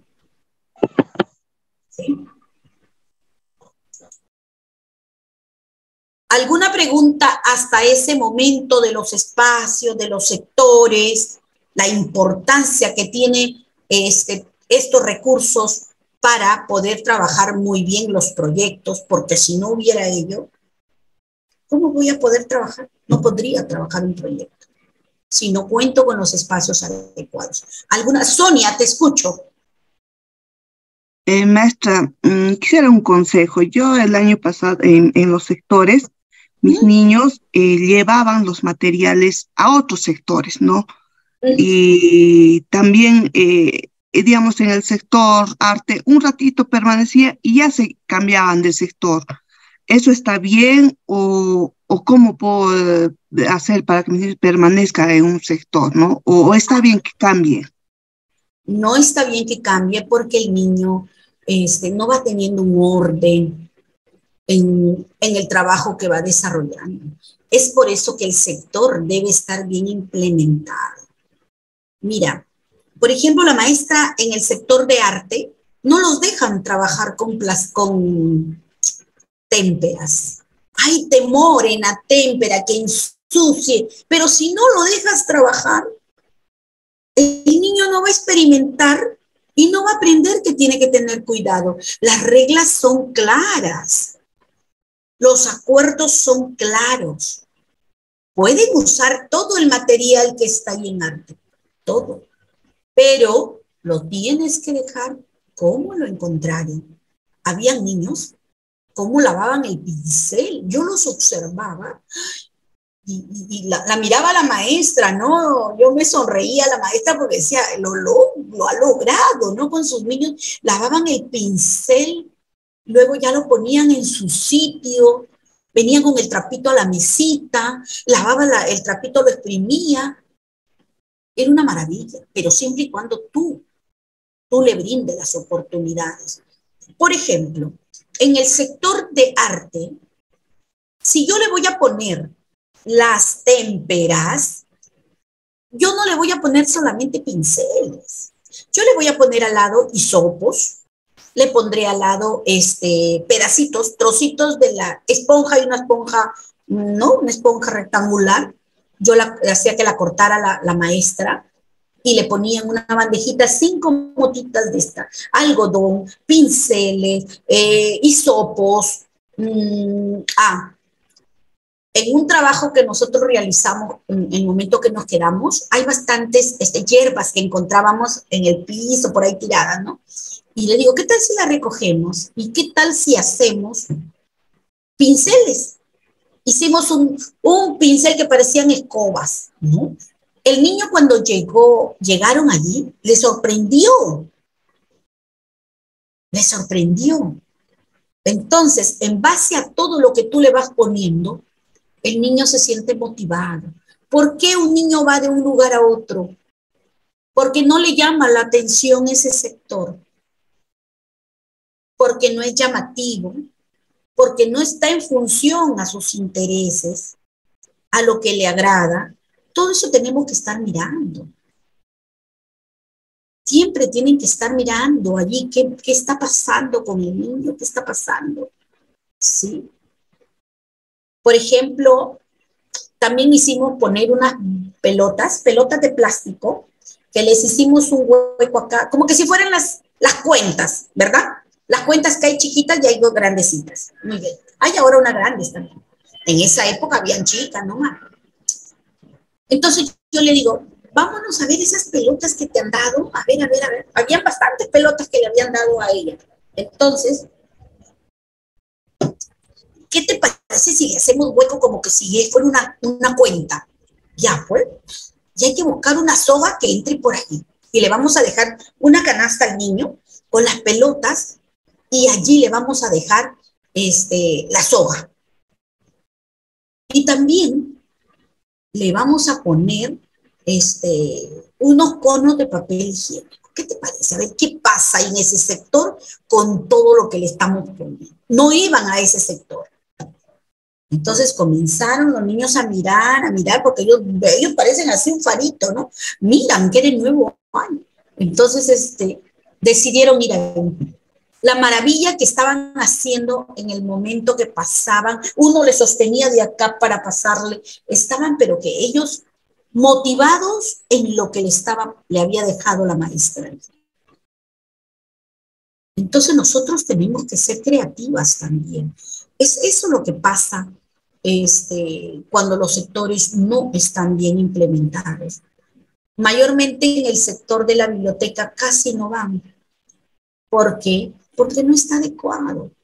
Pero si tú pones un peluche grande, a ese peluche le pones el libro allí, pones unos cojines, con tu mamá que hayas, con las mamitas que hayas hecho unos cojines de la ropita que no usan los niños, quizás por ahí encontraste una plantita y la pusiste al lado. ¿Quién no va a querer ir a ese sector que nos está llamando? Porque hay armonía llama la atención quedarme allí. Hay colores allí, hay papeles. Entonces el niño ve una variedad de oportunidades para poder disfrutar de ese momento que es el placer por la lectura. Lo que sí se permite en el juego libre, cuando está jugando el niño, es, por ejemplo, si un grupo de niñas está trabajando, jugando en el sector del hogar, está allí, cocinando y dice que le va a ir a vender comida a los que están en construcción, que están haciendo un puente, una carretera, en fin. Y le van a vender comida o le venden a otros niños y regresan las niñas por la comida. Ese juego, ese juego común sí se da, pero que un niño deje un sector para irse a otro, luego al otro, no es lo recomendable porque lo que nosotros tenemos que fortalecer en el niño es justamente eso, que respete. Ahora, si el niño está haciendo esas cosas de una manera dispersa, es otro problema el que, estamos observando, ¿no? Entonces, hay que tener bastante cuidado cómo lo observamos y la variedad de materiales que debe de tener. Ojo, que no es necesario que tenga materiales estructurados. No es necesario. No es necesario. Es necesario que tenga variedad de materiales en el cual el niño va a poder disfrutar. Eso sí, que tenga variedad de, materiales donde él pueda disfrutar. En donde, no, en donde él diga, ay, ya niños, faltan cinco minutos, es proceso de transición que pasa de una actividad a otra, hay que avisar. Niños, faltan cinco minutos, cinco minutos, ya, vamos a empezar a ir ordenando. Entonces, profe, no, no quiere. Eso, imagínense. Pero que el niño esté disperso de uno a otro es lo que no debemos, debemos estar atentos a ver lo que pasa con ese niño. O brindarle elementos o recursos que él, en el cual él se sienta muy a gusto, ¿no? Muy a gusto. Bien. ¿Por qué será importante? ¿Alguna pregunta con respecto a lo que es los materiales, los sectores? ¿Sí? ¿Ninguna? Bien. Ahora, ¿por qué será importante? Disculpa, maestra. Este, cada sector se tiene que evaluar y de qué manera, por ejemplo, nosotros podemos evaluar a un niño si está en un determinado sector. Evaluar, tú me hablas que si tienes que evaluar a los niños de cada sector, ¿a eso te refieres, Sonia? Sí, maestra, es que nos dicen, no, se, no es el niño que vaya a un sector y juegue por jugar, sino que tú tienes que evaluar. Claro que nosotros vamos a monitorear, ¿no? A los sectores, pero tienes que evaluar y esa parte donde yo no entiendo de qué manera debo de evaluar a, a los niños de los sectores. Bien, cuando el niño está en el sector, tú tienes que registrar, ¿cierto? Cuando nosotros hablamos de evaluar es porque estamos observando. La técnica que usamos las maestras del nivel inicial es la observación. Muy bien, vamos a observar todas las situaciones que se presentan. Y comienzas a observar a Pablo, ¿no? ¿Qué está haciendo? Y registras lo que Pablo hace. No lo que tú supones, sino lo que está haciendo, lo real, lo que tú observas, eso lo registra. Yo observo que la profesora Mercedes ahorita está que levanta sus manos y está, está hablando sobre el tema de, de sectores, lo que observas. Eso se registra. Desde ese momento tú ya estás evaluando, registrando los hechos, situaciones que el niño está vivenciando en ese momento. Ahora, si conversa, si dialoga, qué diálogos establece con sus demás compañeros, tú tienes que estar registrando todo ello, los diálogos, las interacciones, cómo se da el niño con el otro. De repente es un niño que va y juega y se queda calladito. Está ahí nomás con el juego y no, y no se involucra con los demás no trabaja eh, en equipo, no interactúa con los demás. Y eh, ahí hay un problema porque tú tendrías que atender que ese niño comience a interactuar porque no es correcto que un niño trabaje solo. ¿Sí? Entonces, esa es la evaluación. La evaluación comienza desde el momento que tú observas. Evaluar no es colocar nota, evaluar es todo lo que tú registras. Tus registros son tus evaluaciones. Ahí vas viendo, de acuerdo, de acuerdo a lo que tú piensas y tú crees que vas a evaluar, de acuerdo a lo que tú has planificado. ¿Qué nosotros planificamos cuando hacemos el juego libre en los sectores? Las interacciones de los niños, la expresión oral, eso evaluamos nosotros. El cuidado de los materiales, eso es lo que evaluamos si el niño es organizado en el trabajo, si el niño este, eh, de repente comienza hasta a tirar los materiales. Y eso tendrías que registrar tú, de que Juan ¿no? tiró el carro al piso, por decirlo, tendrías que registrar eso. Y eso no quiere decir que va a tener una mala nota el niño, sino que tú tendrías que hacerte la reflexión, cómo atender esa necesidad de ese niño. ¿Cómo, qué harías tú para mejorar esa conducta de ese niño? ¿Te das cuenta por qué lo tiró? Hay que estar observando ese niño. Eso es evaluar. Nosotros evaluamos en el juego libre en los sectores las interacciones, la expresión oral, la comunicación, cómo se desarrolla el niño con los demás, con sus pares, con los materiales. Sabe respetar acuerdos allí. Establece una buena relación. Porque es lo que nos mueve, nomás a nosotros en el nivel inicial. Muy bien. Por, ¿Alguna consulta, alguna pregunta con respecto al tema de sectores y espacios? Sigamos. Entonces, hablemos de la importancia de la mediación, ¿sí? Una preguntita, maestra Mercedes. Eh, he observado en un inicial eh, también un sector que se pone eso de la tiendita, eh, una salita, claro, está bien como si estuviera uno en, un, en su casa, ¿no? Bien equipado. Entonces, eso de la tiendita, de restaurante, son considerados también como sectores? Ah, te escucho, no te escuché bien, dime.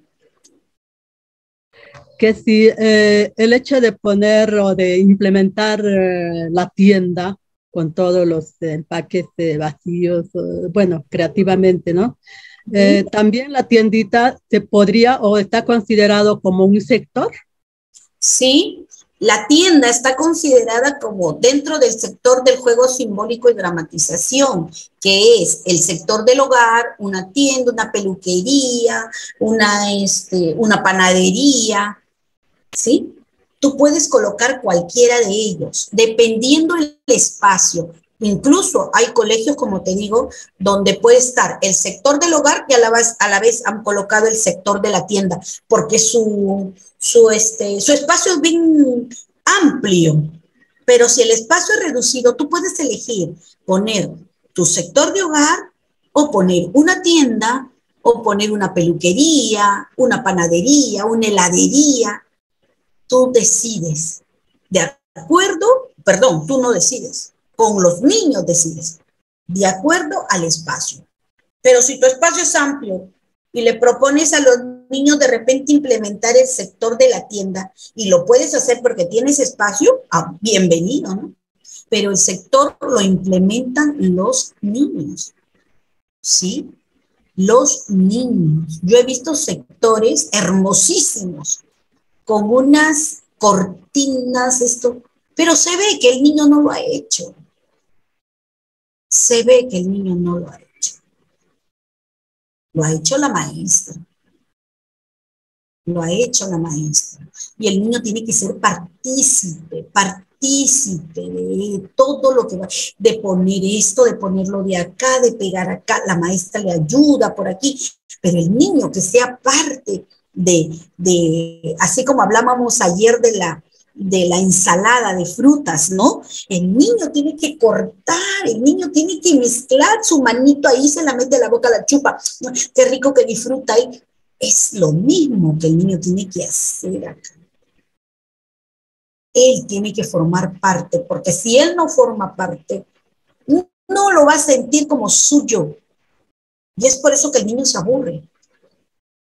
Es por eso que el niño, porque no lo ha hecho él, pues no, no ha sido escuchado. Entonces, al no ser escuchado, él no se siente involucrado, como que no forma parte de, como que es ajeno a esto.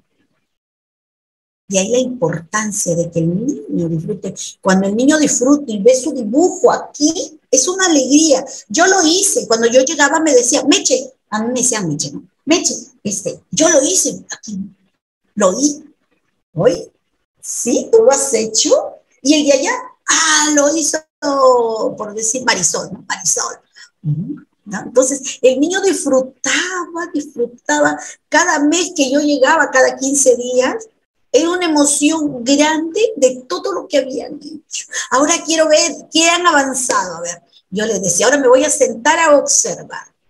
Entonces, este, era la emoción. Y es la emoción que deben de tener nuestros niños. Bien, ¿por qué es importante la mediación y la retroalimentación en el nivel de educación inicial? Bien, ¿qué es la mediación? Tenemos dos documentos que nos habla de la mediación. El marco del buen desempeño docente y el currículo nacional de educación básica. Dentro del marco del buen desempeño docente está en el dominio 2, que habla de la enseñanza, para el aprendizaje de los estudiantes. Dice que la mediación pedagógica del docente en el desarrollo de un clima favorable al aprendizaje, al manejo de los contenidos, a la motivación permanente de los estudiantes. Es decir, incluye el uso de diversos criterios e instrumentos que facilitan la identificación del logro y los desafíos en el proceso de aprendizaje. Desde el marco del buen desempeño docente ya nos está hablando de la mediación. Una mediación en la enseñanza para el aprendizaje de los estudiantes. La responsabilidad que tenemos nosotros, la docente, en esa enseñanza, porque quien ejerce la enseñanza somos nosotros, el aprendizaje, los estudiantes. Por eso se llama proceso enseñanza-aprendizaje. Que en algún momento los roles cambien, sí, en algún momento, a veces yo asumo el rol de estudiante y mis estudiantes también me enseñan, ¿sí? Y dentro del currículo nacional, la mediación del docente es durante el proceso de aprendizaje cuando lo acompaña, hacia un nivel inmediato superior, es decir, a esa zona de desarrollo próximo que mucho nos habla este Vigos, ¿no? Con respecto a su nivel actual, es decir, esa zona real de aprendizaje en el cual se encuentra. ¿Ya? Bien, acá queda más explicado esa zona de desarrollo próximo. ¿Dónde están nuestros niños? Niños su nivel real de desarrollo. Aquí estamos. Sujeto limitado a resolver problemas con sus propios recursos. ¿Qué tenemos que hacer nosotros, el docente? No es que quiere decir que el niño aquí no sabe nada. No, no, no.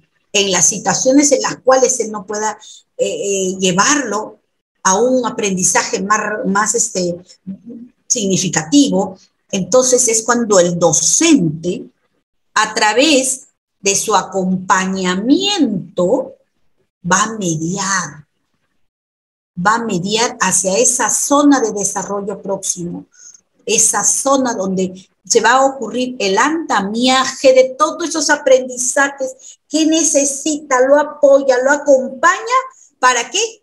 Para que este niño que estaba en el nivel real vaya a un nivel potencial de desarrollo, donde él ya logre la autonomía, pero quien lo ayuda es el docente. Esa es la mediación que tenemos que hacer nosotros para que el niño logre su potencial, sacarlo de ese nivel real de desarrollo y lanzarlo al nivel potencial de desarrollo. Pero esa zona de desarrollo próximo está mediado por el docente. Somos nosotros quienes le vamos a brindar todo el acompañamiento, seguimiento, preguntas, repreguntas, situaciones que el niño logre alcanzar su nivel potencial de desarrollo.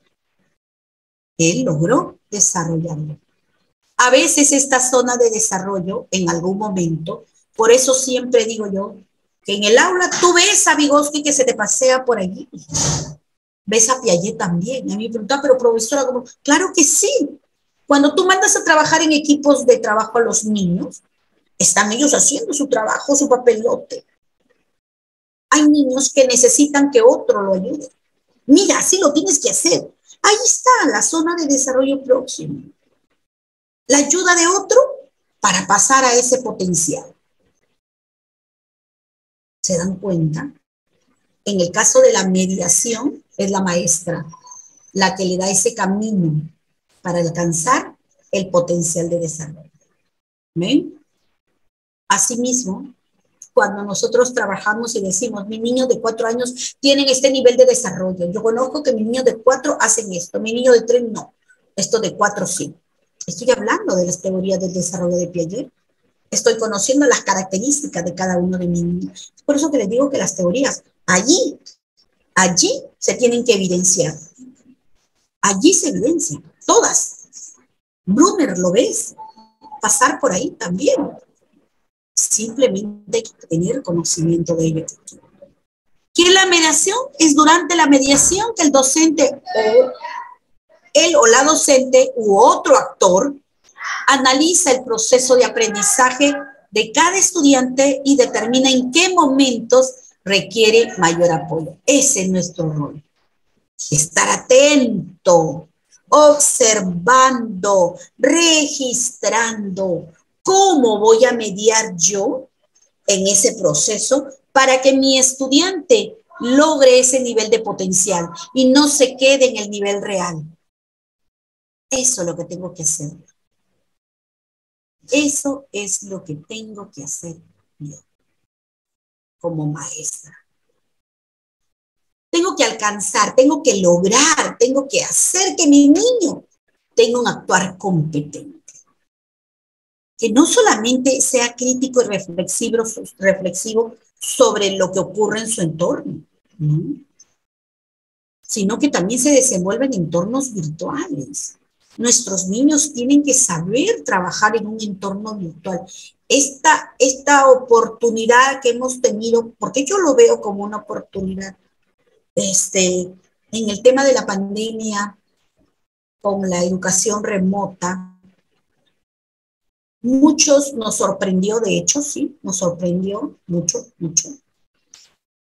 Pero no supimos, no supimos rescatar lo bueno de ese momento, de ese espacio de nuestros niños que ya estaban haciendo educación virtual, en priorizar primero que el niño aprenda, aprenda a desenvolverse en entorno virtual que aprenda a usar las reacciones para participar, que aprenda a escuchar, que aprenda a, a expresarse a través de eso, pero más nos dedicamos a lo que siempre hacemos. Cuando debimos de tener una oportunidad de establecer todos los días esa rutina de que, a ver, Juan, ¿quién va a hablar? Nuestros acuerdos, muy bien, tienen que apagar el micrófono, muy bien, el que va a hablar y todos los días de manera rutinaria nuestros niños hasta ahorita estuvieran para cualquier eventualidad que se presente, se sepa desenvolver, se sepa desenvolver No que sepa coger la máquina para que comience a jugar el Mario Bros, no sé qué cosas más. No, que se sepa desenvolver, que sepa identificar problemas, que reconozca que tiene habilidades, que tiene actitudes y que él conoce mucho. Que sepa proponer y comprobar soluciones. Claro que sí. Que el niño diga por qué, ¿no? Que analice sus decisiones de manera ética. Y eso es lo que está faltando. Pensamos que porque son pequeños no podemos trabajar la ética en los niños. Ahí es cuanto más riqueza hay. Ahí es cuando el niño interioriza todo lo bueno y todo lo malo. Aprovechemos la edad de esta primera infancia para rescatar todas estas situaciones que permiten que nuestros niños y niñas tengan ese actuar competente, que aprenda a tomar decisiones y que actúe en función a esa toma de decisiones, que sepa evaluar y que él mismo identifique sus aspectos de mejora. Ah, está dibujando de repente un niño, se está dibujando él, pero no le ha hecho quizás, se olvidó, porque puede suceder, de los ojos. Y la maestra le podría preguntar en ese momento qué está pasando y él la llama, la invita y le dice, maestra, ya terminé, mire, así. Mm, a ver, observa y dime, ¿qué me puedes decir de tu dibujo? A ver, entonces el mismo niño se puede dar cuenta que no tiene maestra, no le puse los ojos, así. ¿Y es necesario? Sí, si no, ¿cómo va a ver? Ah, claro, ¿no? ¿Se dan cuenta? Que él mismo evalúe e identifique las mejores. No, este, Juan, le faltan los ojos. Juan, no le he puesto la, la ropa. Juan, te falta que lo pintes. A ver, ponerle un espejo al niño para que él mismo se dé cuenta. La imagen que se está reflejando, si se parece a la que está y qué le puede faltar pero hacer que el mismo niño se dé cuenta de esa, de esa situación de mejora. Hay que permitirle al niño. No debemos nosotros delimitar. ¿Cómo vamos a mediar este proceso de aprendizaje? Partiendo de situaciones significativas retadoras. Partiendo de situaciones que sean detonantes, significantes, creativas. Esas situaciones que generen interés en el niño, que lo involucre, que lo emocione, que lo impacte y que tenga disposición. Conversa, dialoga, pregunta, participa, sin que la maestra esté, a ver, ¿quién quiere participar? ¿Cómo se me va a mediar este proceso? Propiciando que ellos aprendan haciendo. Así es. Que no lo haga todo la maestra, sino que el niño haga también. Que el niño aprenda haciendo. Hay que partir de lo que el niño trae consigo. Hay que partir de lo que el niño, ese currículo oculto que trae, esa mochila de puff, llena de conocimientos llena de experiencias que trae el niño, porque el niño trae, es como cuando una maestra me decía, voy a, voy a enseñarle el bombero, el heladero, porque el niño no conoce el bombero. Si ahí está al frente, la, sí, que como está al frente, para que ellos vayan, ¡ay, Dios mío! ¿Cómo vas a enseñarle al bombero si lo tiene, como dicen, voy a enseñarle eh, el papá y la mamá, ¿no? Su papá y su mamá se la tiene ahí al lado. hay otras formas, preguntándole al niño. Quizás el niño quiere actuar en lo que hace el bombero, cómo se siente el bombero. ¿No? o quiere compartir con el bombero de repente eh, este, en, su, en su aula para que él cuente todas sus experiencias, cómo se siente, cómo es el trabajo, porque no solamente sirve pagar incendios, hay muchas cosas detrás de Eso es lo que tenemos que hacer, que el niño reflexione. Propiciar que el estudiante construya su conocimiento. No que nosotros le demos todo, sino que él construya, que él vivencie, que él participe de todo ello, porque allí radica el aprendizaje. Hay que aprovechar el error para construir aprendizajes. El error es un camino hermoso para aprender. ¿Cuántos inventos cuántas, la penicilina, la bombilla eléctrica surgieron de errores, tras error. Entonces, ¿por qué no enseñarle al niño que si se equivoca, que lo vuelva a intentar? Que lo vuelva a intentar. Porque allí está el aprendizaje. No aprendemos a la, primer, a primer momento. Claro que no. Claro que no. Uno siempre tiene que estar en constante lectura, lectura, lectura. Porque si no, a veces la mente es muy frágil. Pero si tú no le haces ese ejercicio al cerebro, algún momento quizás hablaremos de ello,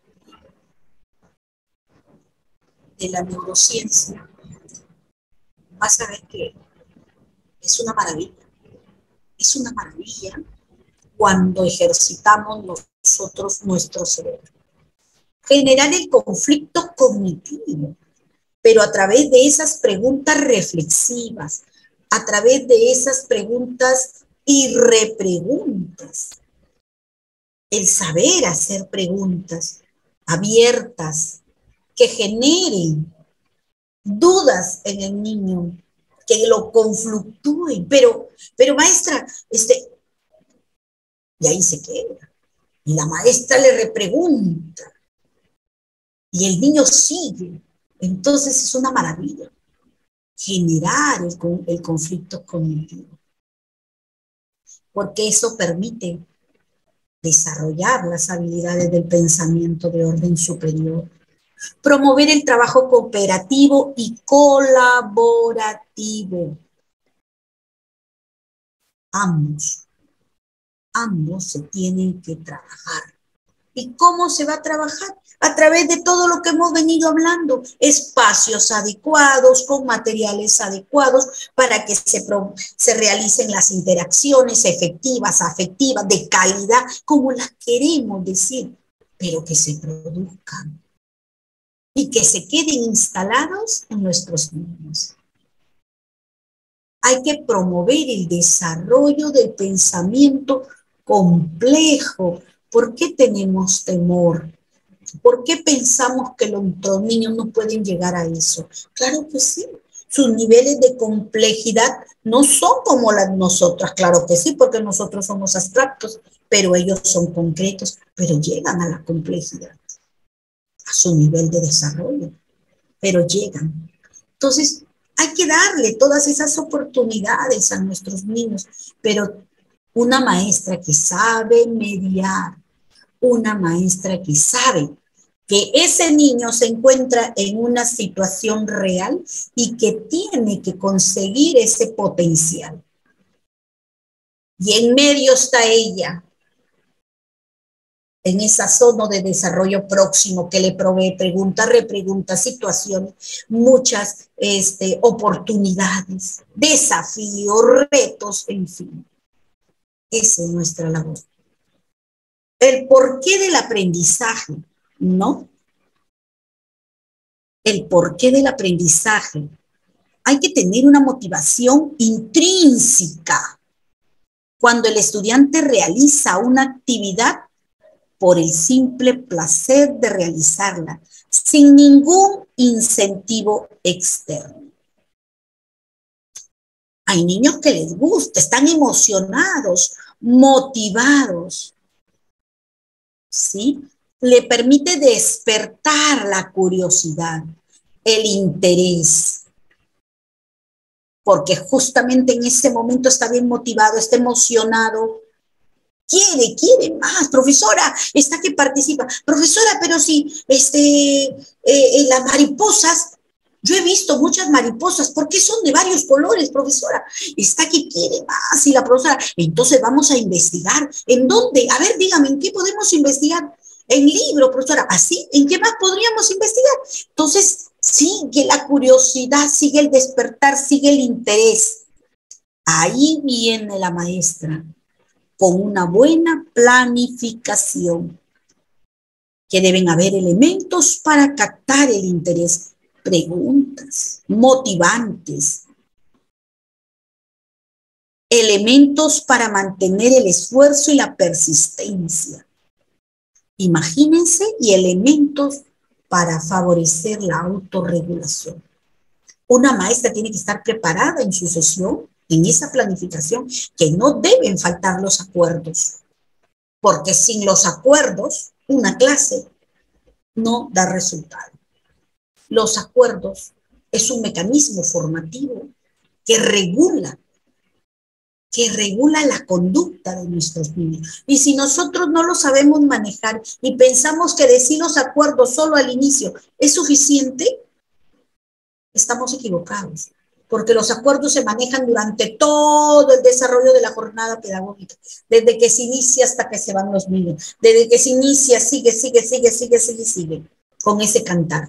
Si no, no hay autorregulación. El niño está en el juego libre en los sectores, seguimos con los acuerdos. El niño hace psicomotricidad, seguimos con los acuerdos. El niño hace un taller, seguimos con los acuerdos. Va al recreo, seguimos con los acuerdos. Pero simplemente los acuerdos a veces los trabajamos en la sesión y ahí quedó olvidado los acuerdos deben de ser trabajados. Es por eso que dice elementos para captar el interés, para mantener el esfuerzo y la persistencia y elementos para favorecer la autorregulación. Si no, no se da. El qué del aprendizaje. El qué viene a ser cómo percibe la información. ¿Cómo puede mi estudiante percibir esa información? Cuando se le presenta la información por distintos canales, ya sea auditivo, sea visual, pero tiene diferentes canales para llegarle la información.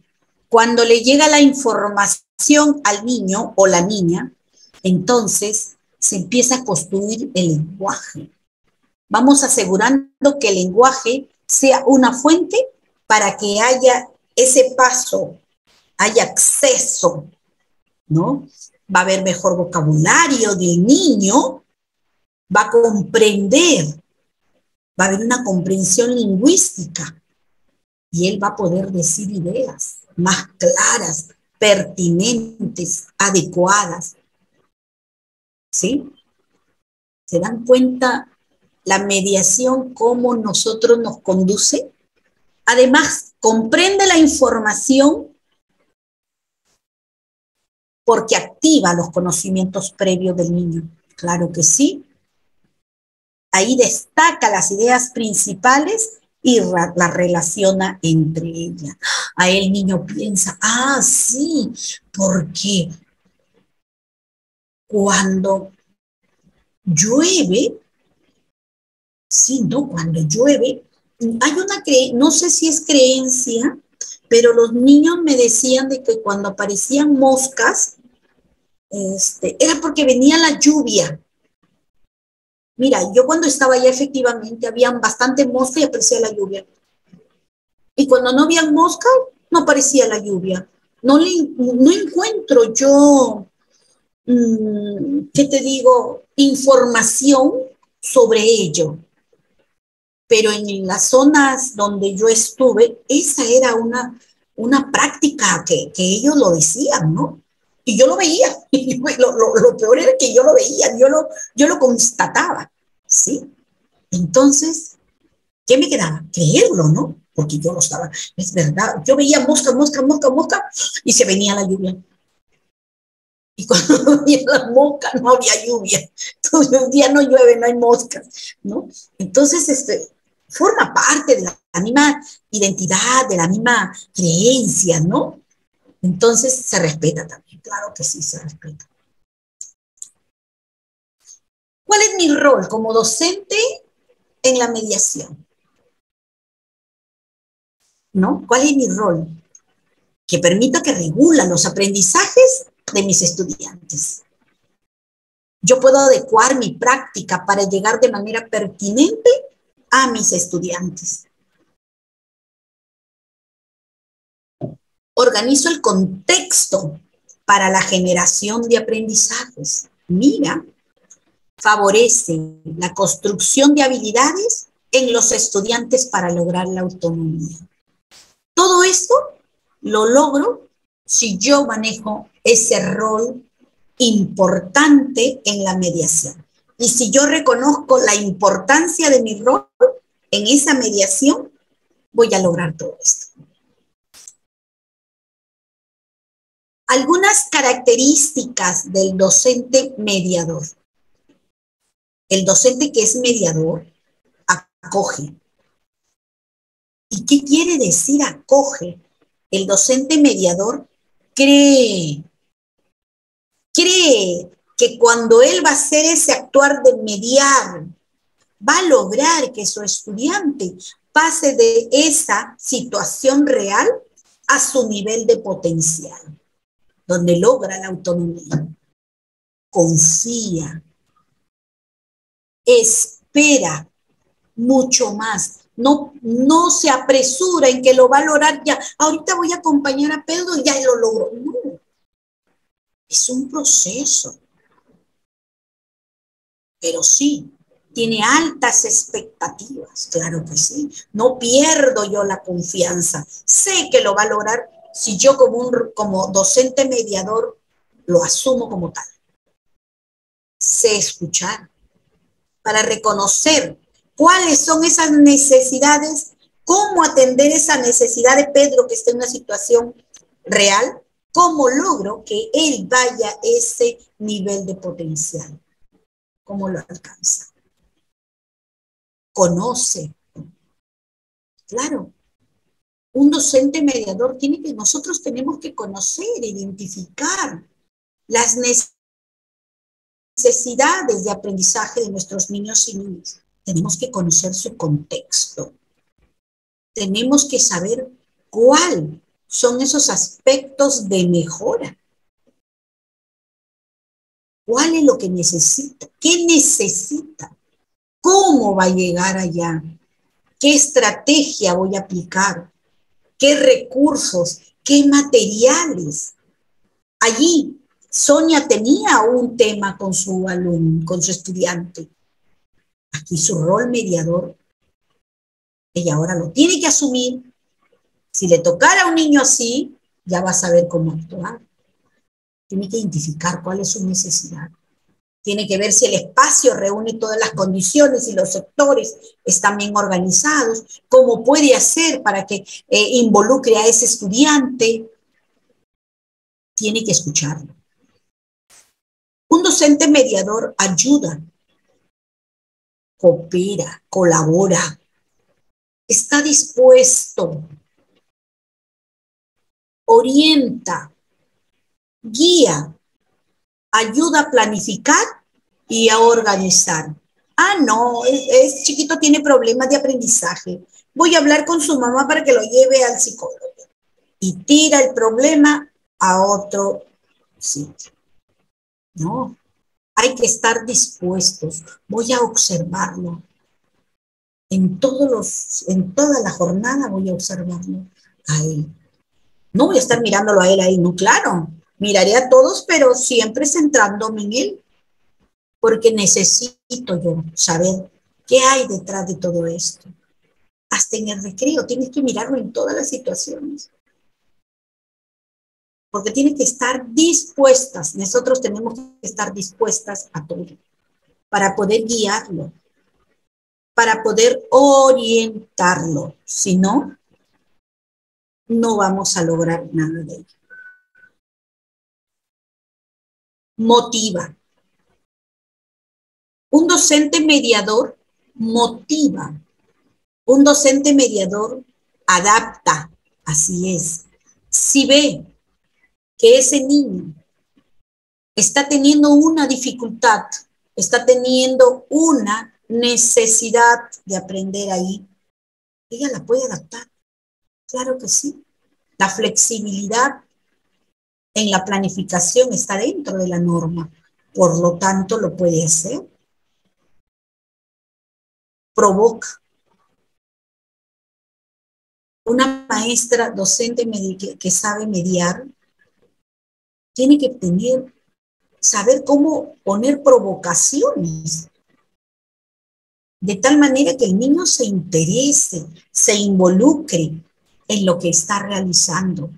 Tiene que haber provocaciones. ¿Qué provocación puedo poner aquí, allá? Como la maestra que, que no iban al, espacio de, de la biblioteca y colocó un peluche, colocó una planta, colocó hojas muy llamativas, puso una canastita, puso los colores, ordenó mejor el espacio. A ver, ¿qué pasó? Puso cojines. El niño se sorprende. Le interesa, le llama la atención. Entonces, un docente mediador motiva, motiva a sus niños. Un docente mediador potencia, pero ¿qué potencia? O sea, eleva el nivel de abstracción de todas esas situaciones, de todas esas situaciones que le brinda al niño y a la niña. Le da complejidad, porque sabe que sus niños pueden dar mucho más. A ver, si coloco esto, si doy lo de acá, le voy dando un nivel de complejidad respetando el desarrollo de la edad del niño que atiende, respetando su proceso de maduración de los niños, respetando las características de cada uno de sus niños y niñas. Es decir, respeta la individualidad de sus niños. Una maestra, un docente mediador o una maestra mediadora tiene que tener en cuenta estas características. Provoca, cuestiona. Una maestra pregunta, repregunta. Una maestra corrige, exige, exige, reta, plantea desafíos,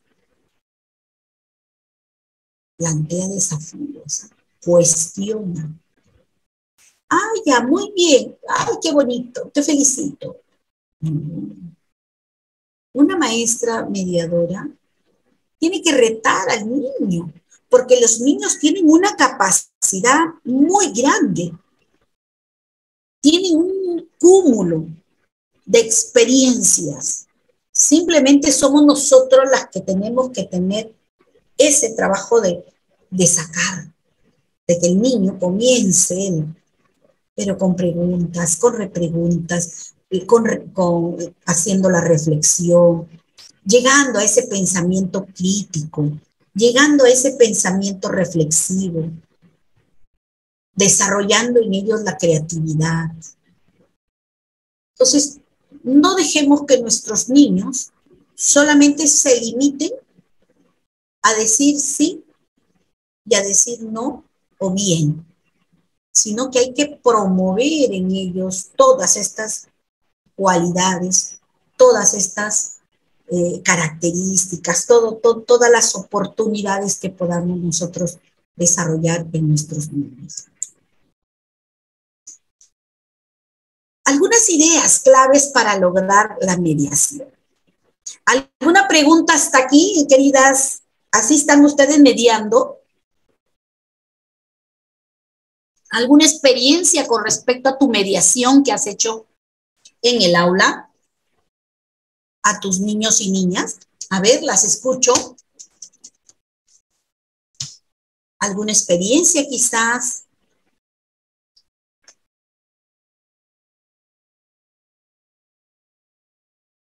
A ver, tengo a Liz, a Mari, a Sonia, dos, Sonia dos, Evelyn, Eudosia, Miluska, Connie, Zaida, es ya, es mía participado, muy bien. Orieta, Amir, Stephanie, Gisela, Alicia, Luz, Cori. ¿Quién me puede contar una experiencia con respecto a la mediación? ¿Cómo la está desarrollando? ¿Cómo está apoyando a sus niños cuando tienen dificultades? ¿Cómo actúa como docente mediadora cuando observa que algunos de sus niños tienen necesidades de aprender o aspectos a mejorar?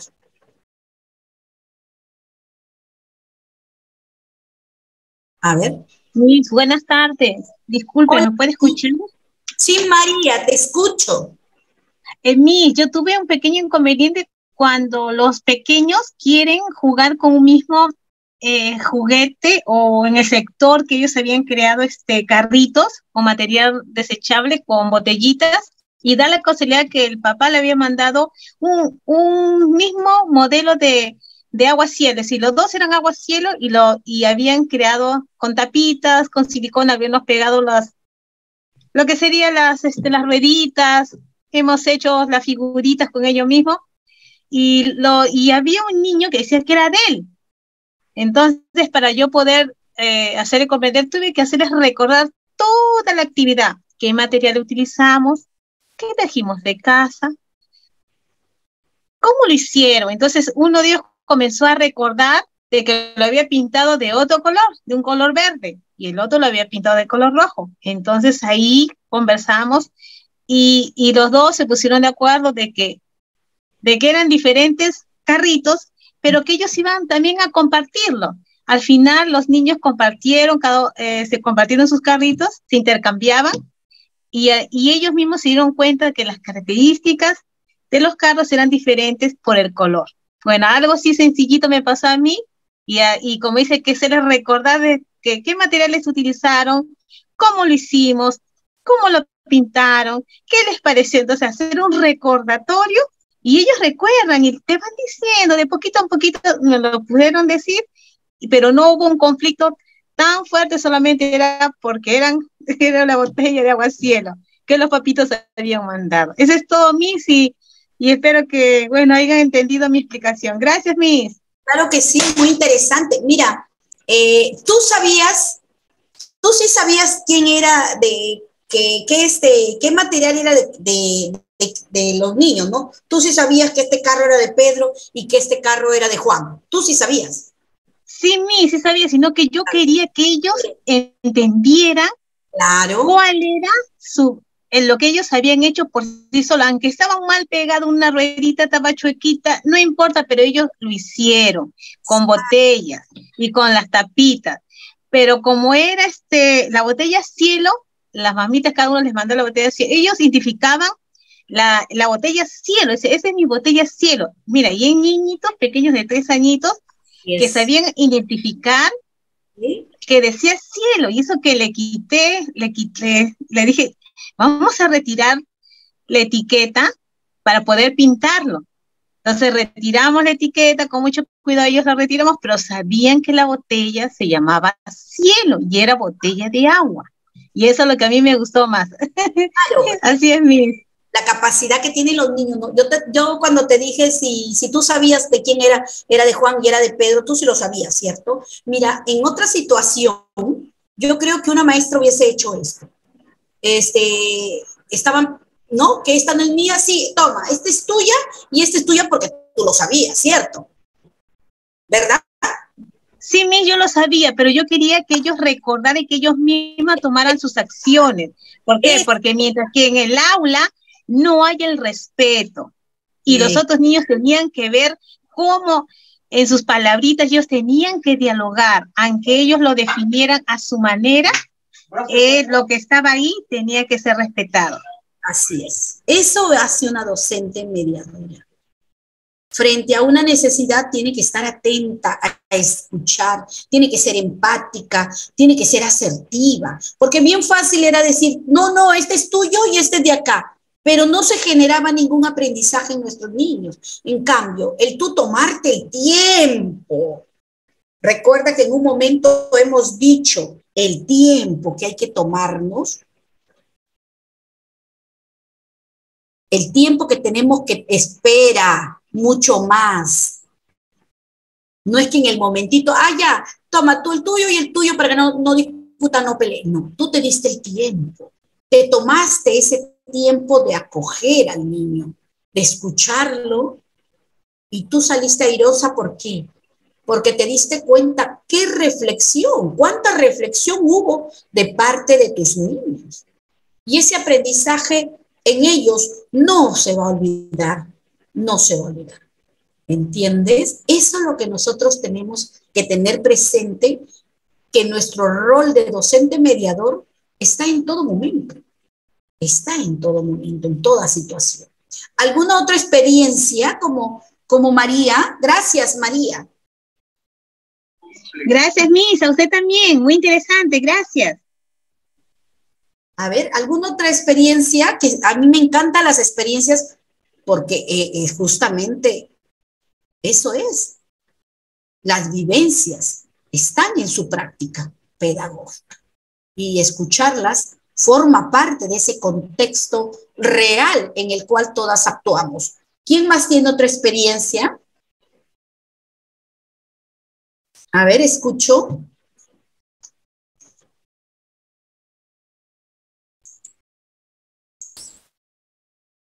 Zaida, eh, Gisela, Anita, Eleonor, Olga, Eneida. Hoy tengo varias. ¿Qué pasa? ¿Se me durmieron? ¿No están motivadas? Muy bien. Entonces, compartir las experiencias es interesante porque cada, vamos aprendiendo y nos damos cuenta de que muchas situaciones a veces son, eh, se repiten en muchos espacios, ¿no? Diferentes espacios. Bien, sigamos. Si alguien desea participar, levanta la mano. Bien, ideas claves para la mediación. ¿Cuáles son esas ideas claves?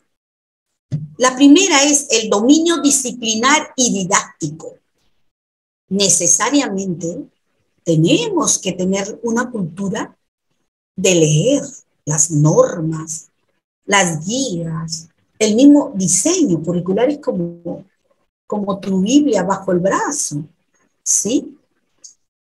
Porque no solamente es, es que yo mire y, ah, ya sé, aquí están, aquí están. Sí, pero tienes que hacer un análisis. El por qué, el para qué está eso ahí. Y que tiene que ser didáctico. Y eso lo tenemos que manejar, tener un dominio disciplinar de los puntos. Una maestra no solamente debe hablar de planificación, una maestra del nivel inicial tiene que saber planificar, tiene que saber evaluar. Si es lo que hace en el aula, tiene que saber de espacios, tiene que hablar de, habilidades socioemocionales, porque son lo que se desarrolla en el aula con los niños. Tiene que hablar del desarrollo del niño. Tiene que conocer muchos aspectos claves que involucran a los niños y niñas dominio disciplinar y didáctico y habilidad para usar diversos recursos para desarrollar competencias. Es decir, una maestra que tiene que saber usar herramientas tecnológicas una maestra que tiene que saber usar diversas, diversas apps que pueden haber en el entorno virtual. Una maestra que debe manejar una biblioteca digital, buscar información, ir almacenando aquello que le interesa, aquello que le, que le, que le, le apasiona.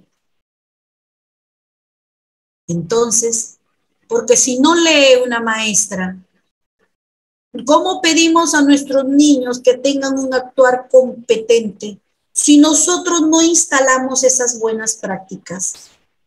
No instalamos la, la cultura de, de leer, de analizar, de ser críticas. Ser críticas es ser crear un conflicto en función a un conocimiento. No es pelear, no es discutir, no es hacer quedar mal a otra persona.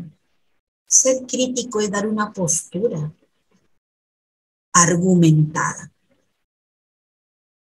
reflexiva. Tiene que aprender a reconocer, ah, sí, me está faltando esto. Necesito empoderarme de estos detalles, de estas situaciones, de estos temas. Necesito. Hoy en día el uso de las herramientas eh, tecnológicas ya no es un ya no es un problema como lo era antes, ya no, porque hoy en día tú entras a Google y encuentras tutoriales, tutoriales para editar videos, tutoriales para crear páginas, encuentras un sinnúmero. Y si tú constantemente lo haces y te ejercitas, imagínate todos los aprendizajes que vas a adquirir. Imagínense. Entonces, hay que aprender una primera idea clave es tener dominio disciplinario y didáctico. Si no, ¿cómo voy yo a poder atender a mi niño si no conozco? No sé cómo actuar, pero si yo ya he leído, sé, he construido eh, cierta información, la puedo manejar, entonces puedo hacer una buena mediación. Capacidad para promover el razonamiento, el pensamiento crítico y creatividad respetar los ritmos de aprendizaje de sus estudiantes y ayudarlos a, organizarse. Hay que tener capacidad justamente cómo, cómo yo voy a permitir desarrollar en mis niños esas habilidades de orden superior que me las nombran allí. Razonamiento, pensamiento crítico y creatividad. El lenguaje también. Tengo que trabajar cómo pero respetando. Para ello, conozco el desarrollo del niño. Ah, yo no puedo hacer esto porque esto es para niños de tres años y a mí me corresponde ahora a mi niño de cinco. Tengo que darles esto. Muy bien. Entonces, reconozco los ritmos de aprendizaje, cómo aprenden ellos. Y respeto. Los ayudo a tener esos niveles de organización tomando como referencia, leyendo lo que son las funciones ejecutivas. Profundizo más. Hay que organizarse de esta manera. El niño va teniendo memoria de trabajo. Entonces, estas dos ideas claves son muy necesarias e importantes. Propiciar el aprendizaje colaborativo y cooperativo, desarrollando habilidades y actitudes relacionadas con la investigación y la convivencia. Miren, propiciar el aprendizaje colaborativo y cooperativo, desarrollando habilidades y actitudes vinculadas, relacionadas con la investigación. Que el niño aprenda a investigar, cómo debe investigar, que tiene que ir a una fuente, tiene que ir a una fuente a recoger información, que tiene que respetar las ideas de los demás, que tiene que aprender a escuchar las decisiones de los demás, que él tiene que aprender a tomar decisiones. Eso le permite tener una convivencia, que es lo que a veces nos falta en algunos, ¿no? No, yo tengo la razón. Lo único que quiero es escuchar cuando me dicen alguien así, no, yo quiero que se haga así. Bueno, que se haga así. Entonces, hay que aprender a ser tolerantes. Capacidad de, aprender, practicar un monitoreo activo y buena retroalimentación. Así es. El monitoreo debe ser constante.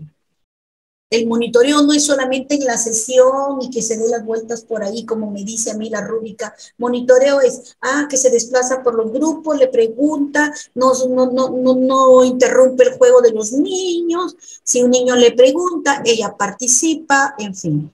No, el monitoreo es desde el inicio hasta el final. Porque justamente allí, en ese monitoreo me va a permitir a mí observar registrar situaciones ricas que me van a servir para desarrollar los proyectos. Quizás hay un diálogo muy interesante. Hay un diálogo que, esos niños constantemente lo están realizando. ¿Por qué no partir un proyecto de ese diálogo de los niños? Entonces, el monitoreo debe ser activo y la retroalimentación debe ser efectiva en el momento.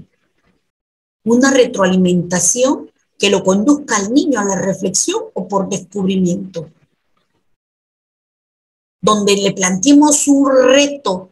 Ah, no, yo no le. Ese niño sabe mucho, es el, más, que sabe más. No, no necesita que lo retroalimente, él sabe. Dale un reto. Si sabe, dale un reto más.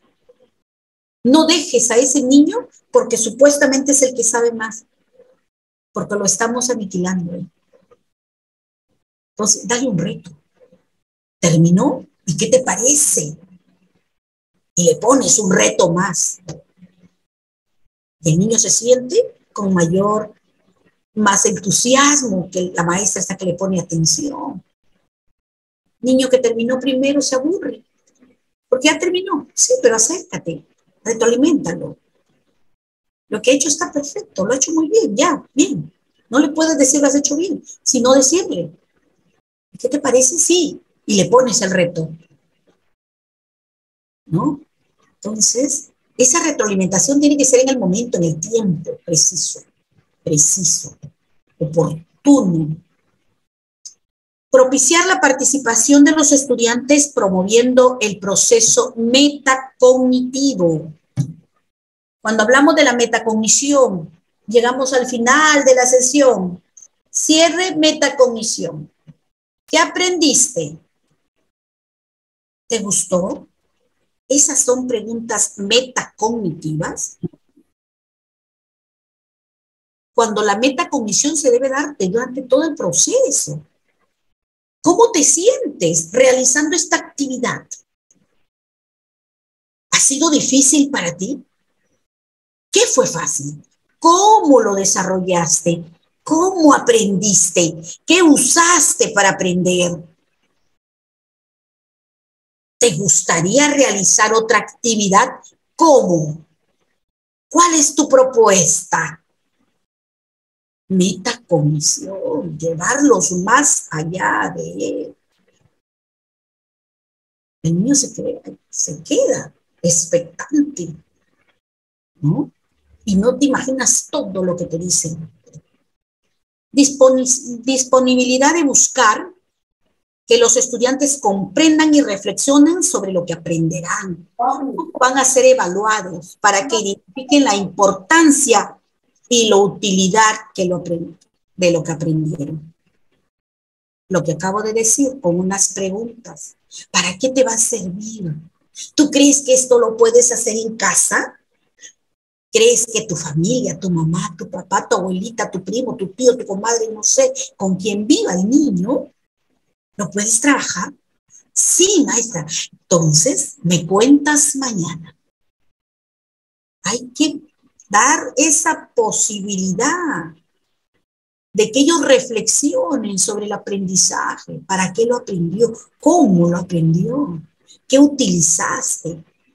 Flexibilidad, sensibilidad y creatividad, justamente para responder con pertinencia ante situaciones difíciles e inesperadas. Que se pueden presentar, ¿ah? pueden haber situaciones emergentes, ¿ah? pueden haber situaciones emergentes que te surgen en el momento y puede alterar todo lo que tienes planificado, puede alterar todo. Entonces, hay que tener la, la, capacidad de ser flexible. Hay que tener la capacidad de ser sensible y de ser creativa, porque puede ocasión, ocurrir cualquier evento fortuito o una situación que emergente, inesperada. La retroalimentación en la mediación tener en cuenta, siempre hay que tener en cuenta el propósito y los criterios, claro que sí. Cuando hagas la retroalimentación, tienes que saber qué es lo que vas a retroalimentar. Tú has hecho la planificación, sabes qué competencias están desarrollando, sabes qué criterio también, porque tú no vas a retroalimentar si no has tenido en cuenta ello.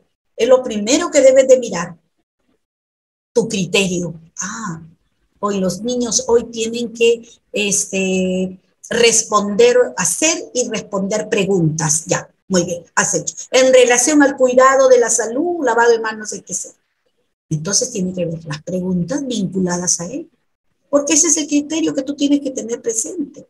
Hay que escucharlos a los niños. Porque tú puedes retroalimentar de manera individual o grupal.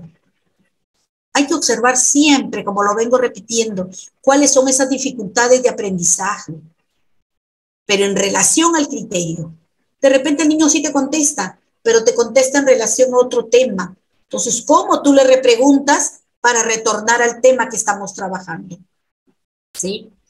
Promover la reflexión, como hemos dicho, individual y en pequeños grupos. ¿Para qué? Para que puedas tú esclarecer más las ideas.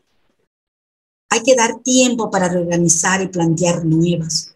Ser flexibles, como lo he dicho, hay que revisar con el niño, como lo hemos venido explicando, ese error que puede haber tenido sin decirle que es un error, pero que él mismo se dé cuenta. ¿Sí? Utilizar material que apoyen a los niños, que apoyen a los niños y que esto le permitan superar sus dificultades. Y hay que brindar soporte emocional. Eso es fundamental. ¿Sí? Hemos dicho la retroalimentación individual, grupal, escrita o puede ser oral. Tenemos que tener en cuenta los criterios de evaluación, ¿sí? Porque eso va a permitir mejorar los procesos de enseñanza. De acuerdo a los tipos de retroalimentación elemental, descriptiva y por descubrimiento. Nosotros llegamos a por descubrimiento o reflexión. Es esa mirada donde tenemos que mirarnos. Tenemos que apuntar a esa mirada. Bien. ¿Qué hora es? Bien. Hoy, puntualito, dos, ocho y Bien, queridas amigas, todo este, estos temas, todo este bagaje de conocimiento, de información, tiene que tenerse la claridad para poder trabajar proyectos. Si no, no lo vamos a poder realizar. No, pero me dirán, no, pero yo sí hago. Claro que sí, lo haces pero tienes que tener en cuenta ello para que te dé mejores resultados. Si no, no los vamos a tener. Y vamos siempre a mirar a la deriva, vamos a mirar sobre, sobre, sobre nadar, nadar sobre el desierto. Imagínense, si es que no tomamos en cuenta también el espacio, los materiales, los sectores, los recursos, las estrategias, todo ello. Bien, Mañana trabajamos lo que es el primer proyecto y la siguiente clase el otro proyecto que nos queda. Bien, queridas amigas. Bien, un abrazo. ¿Alguna consulta antes de retirarme? ¿Alguna pregunta? Miss, una consulta, los PPTs que usted estaba explicando. Dime, dime, dime, hija, Este, ¿Los van a enviar también eh, como material de refuerzo para el grupo? Perdón, no te escuché, dime. Los PPTs, toda la información que usted nos ha ah, dado, sí. sí. los van a enviar como refuerzo de material para el grupo. Ya le mandé la de la, de la, de ayer, ya le mandé al coordinador. La de ahorita, la de ahorita se la estoy mandando al coordinador, ¿ya? Ya, gracias. No se preocupen, toda la información se las estoy enviando. Gracias. Ah, Evelyn, gracias. No tienes audio. Gracias, Evelyn. Connie, gracias, Connie, por tus saludos. Muchísimas gracias. Chao, Mari. Gracias, maestra. Bendiciones. Buenas noches. Maestra, una consulta. Gracias y espero que, les haya, espero que les haya servido toda esta información, todo este, este recorrido que he tenido a lo largo de mi, de mi práctica y que de alguna manera me gusta compartirla también, ¿sí? Bien. Maestra, una consulta antes que termine. ¿Me escucha? Sí, te eh, Maestra, usted nos habló de que cuando el niño termina su trabajo, usted le hace hacer un reto. ¿Qué reto se refiere? ¿A qué reto más o menos le ah, trabaja al niño? Cuando el niño que termina primero, me refiero a ese niño. Hay niños que terminan primeritos, son los que, los que nosotros le llamamos los chanconcitos, ¿no? Yo tengo mi niño que es un AD, a ese niño me refiero, ¿ya? Termina primero, ya terminó, no es que ya terminó y, faltan todavía los demás. Entonces, frente a ello, tú no vas a ir a darle una retroalimentación elemental. Ay, Carlitos, qué lindo, qué bonito, tienes un AD. No, tú lo que tendrías, imagínate que está haciendo él una imagen, su imagen de, de, está trabajando la identidad, ¿no? Que él se está dibujando, por decir. Entonces, él ha terminado de hacerse su imagen, muy bien, todo. Tú le puedes proponer un, reto. Bien, Carlos, terminaste, ¿verdad? Sí, maestra. Dime, Carlos, ¿qué te parece si a tu dibujo le complementas, dime tú, ¿dónde te gustaría estar? Él se ha dibujado solo. Ay, profesora, me gustaría estar en el parque. Entonces, ¿por qué no dibujas el parque? Ahí al lado donde estás tú. Entonces le pones el reto que él dibuje un parque. Mira, le estás dando la libertad de que explaye más su conocimiento, cosa que no están haciendo los otros, porque los otros aún no termina su figura humana, pero a él sí. A él sí le está dando un reto más. O de repente él dice que quiere dibujarse con sus padres. Entonces le das la oportunidad de que él se dibuje con sus padres al lado. Y así, está ocupado trabajando, está aprendiendo lo que él quiere hacer, ¿cierto? ¿Dónde estás? Sí, maestra, muchas gracias. Muchas gracias por todos sus aportes. Muy bien, favorecida. Gracias. el reto, el reto. Y ahí vamos a ir viendo otro. Dime, Sonia. Sonia es? No, no, no es Sonia. Maestra, buenas noches, maestra. No pude ingresar en este momento, maestra. Eh, pero la clase... Bueno, no le he podido escuchar, me encuentro en una zona donde no hay internet. Oh, he entrado minutos, eh, bueno, he tenido dificultades, la pregunta es si va a quedar grabado para poder... Sí, sí, la clase queda grabada y el mismo coordinador les envía. Queda grabada, ¿verdad, maestra? Sí, sí, todas las clases, sí, así es. Sí, queda grabada, queda grabada. Muy bien, gracias, chicas, un abrazo me voy a otra clase. gracias. Ya, maestra Mercedes. Gracias. muchas gracias, maestra. Lo voy a tener que ver de nuevo. Ya, muy bien. Gracias. Chao a cada una de ustedes. Gracias, Gracias, Miss. Muy bonito.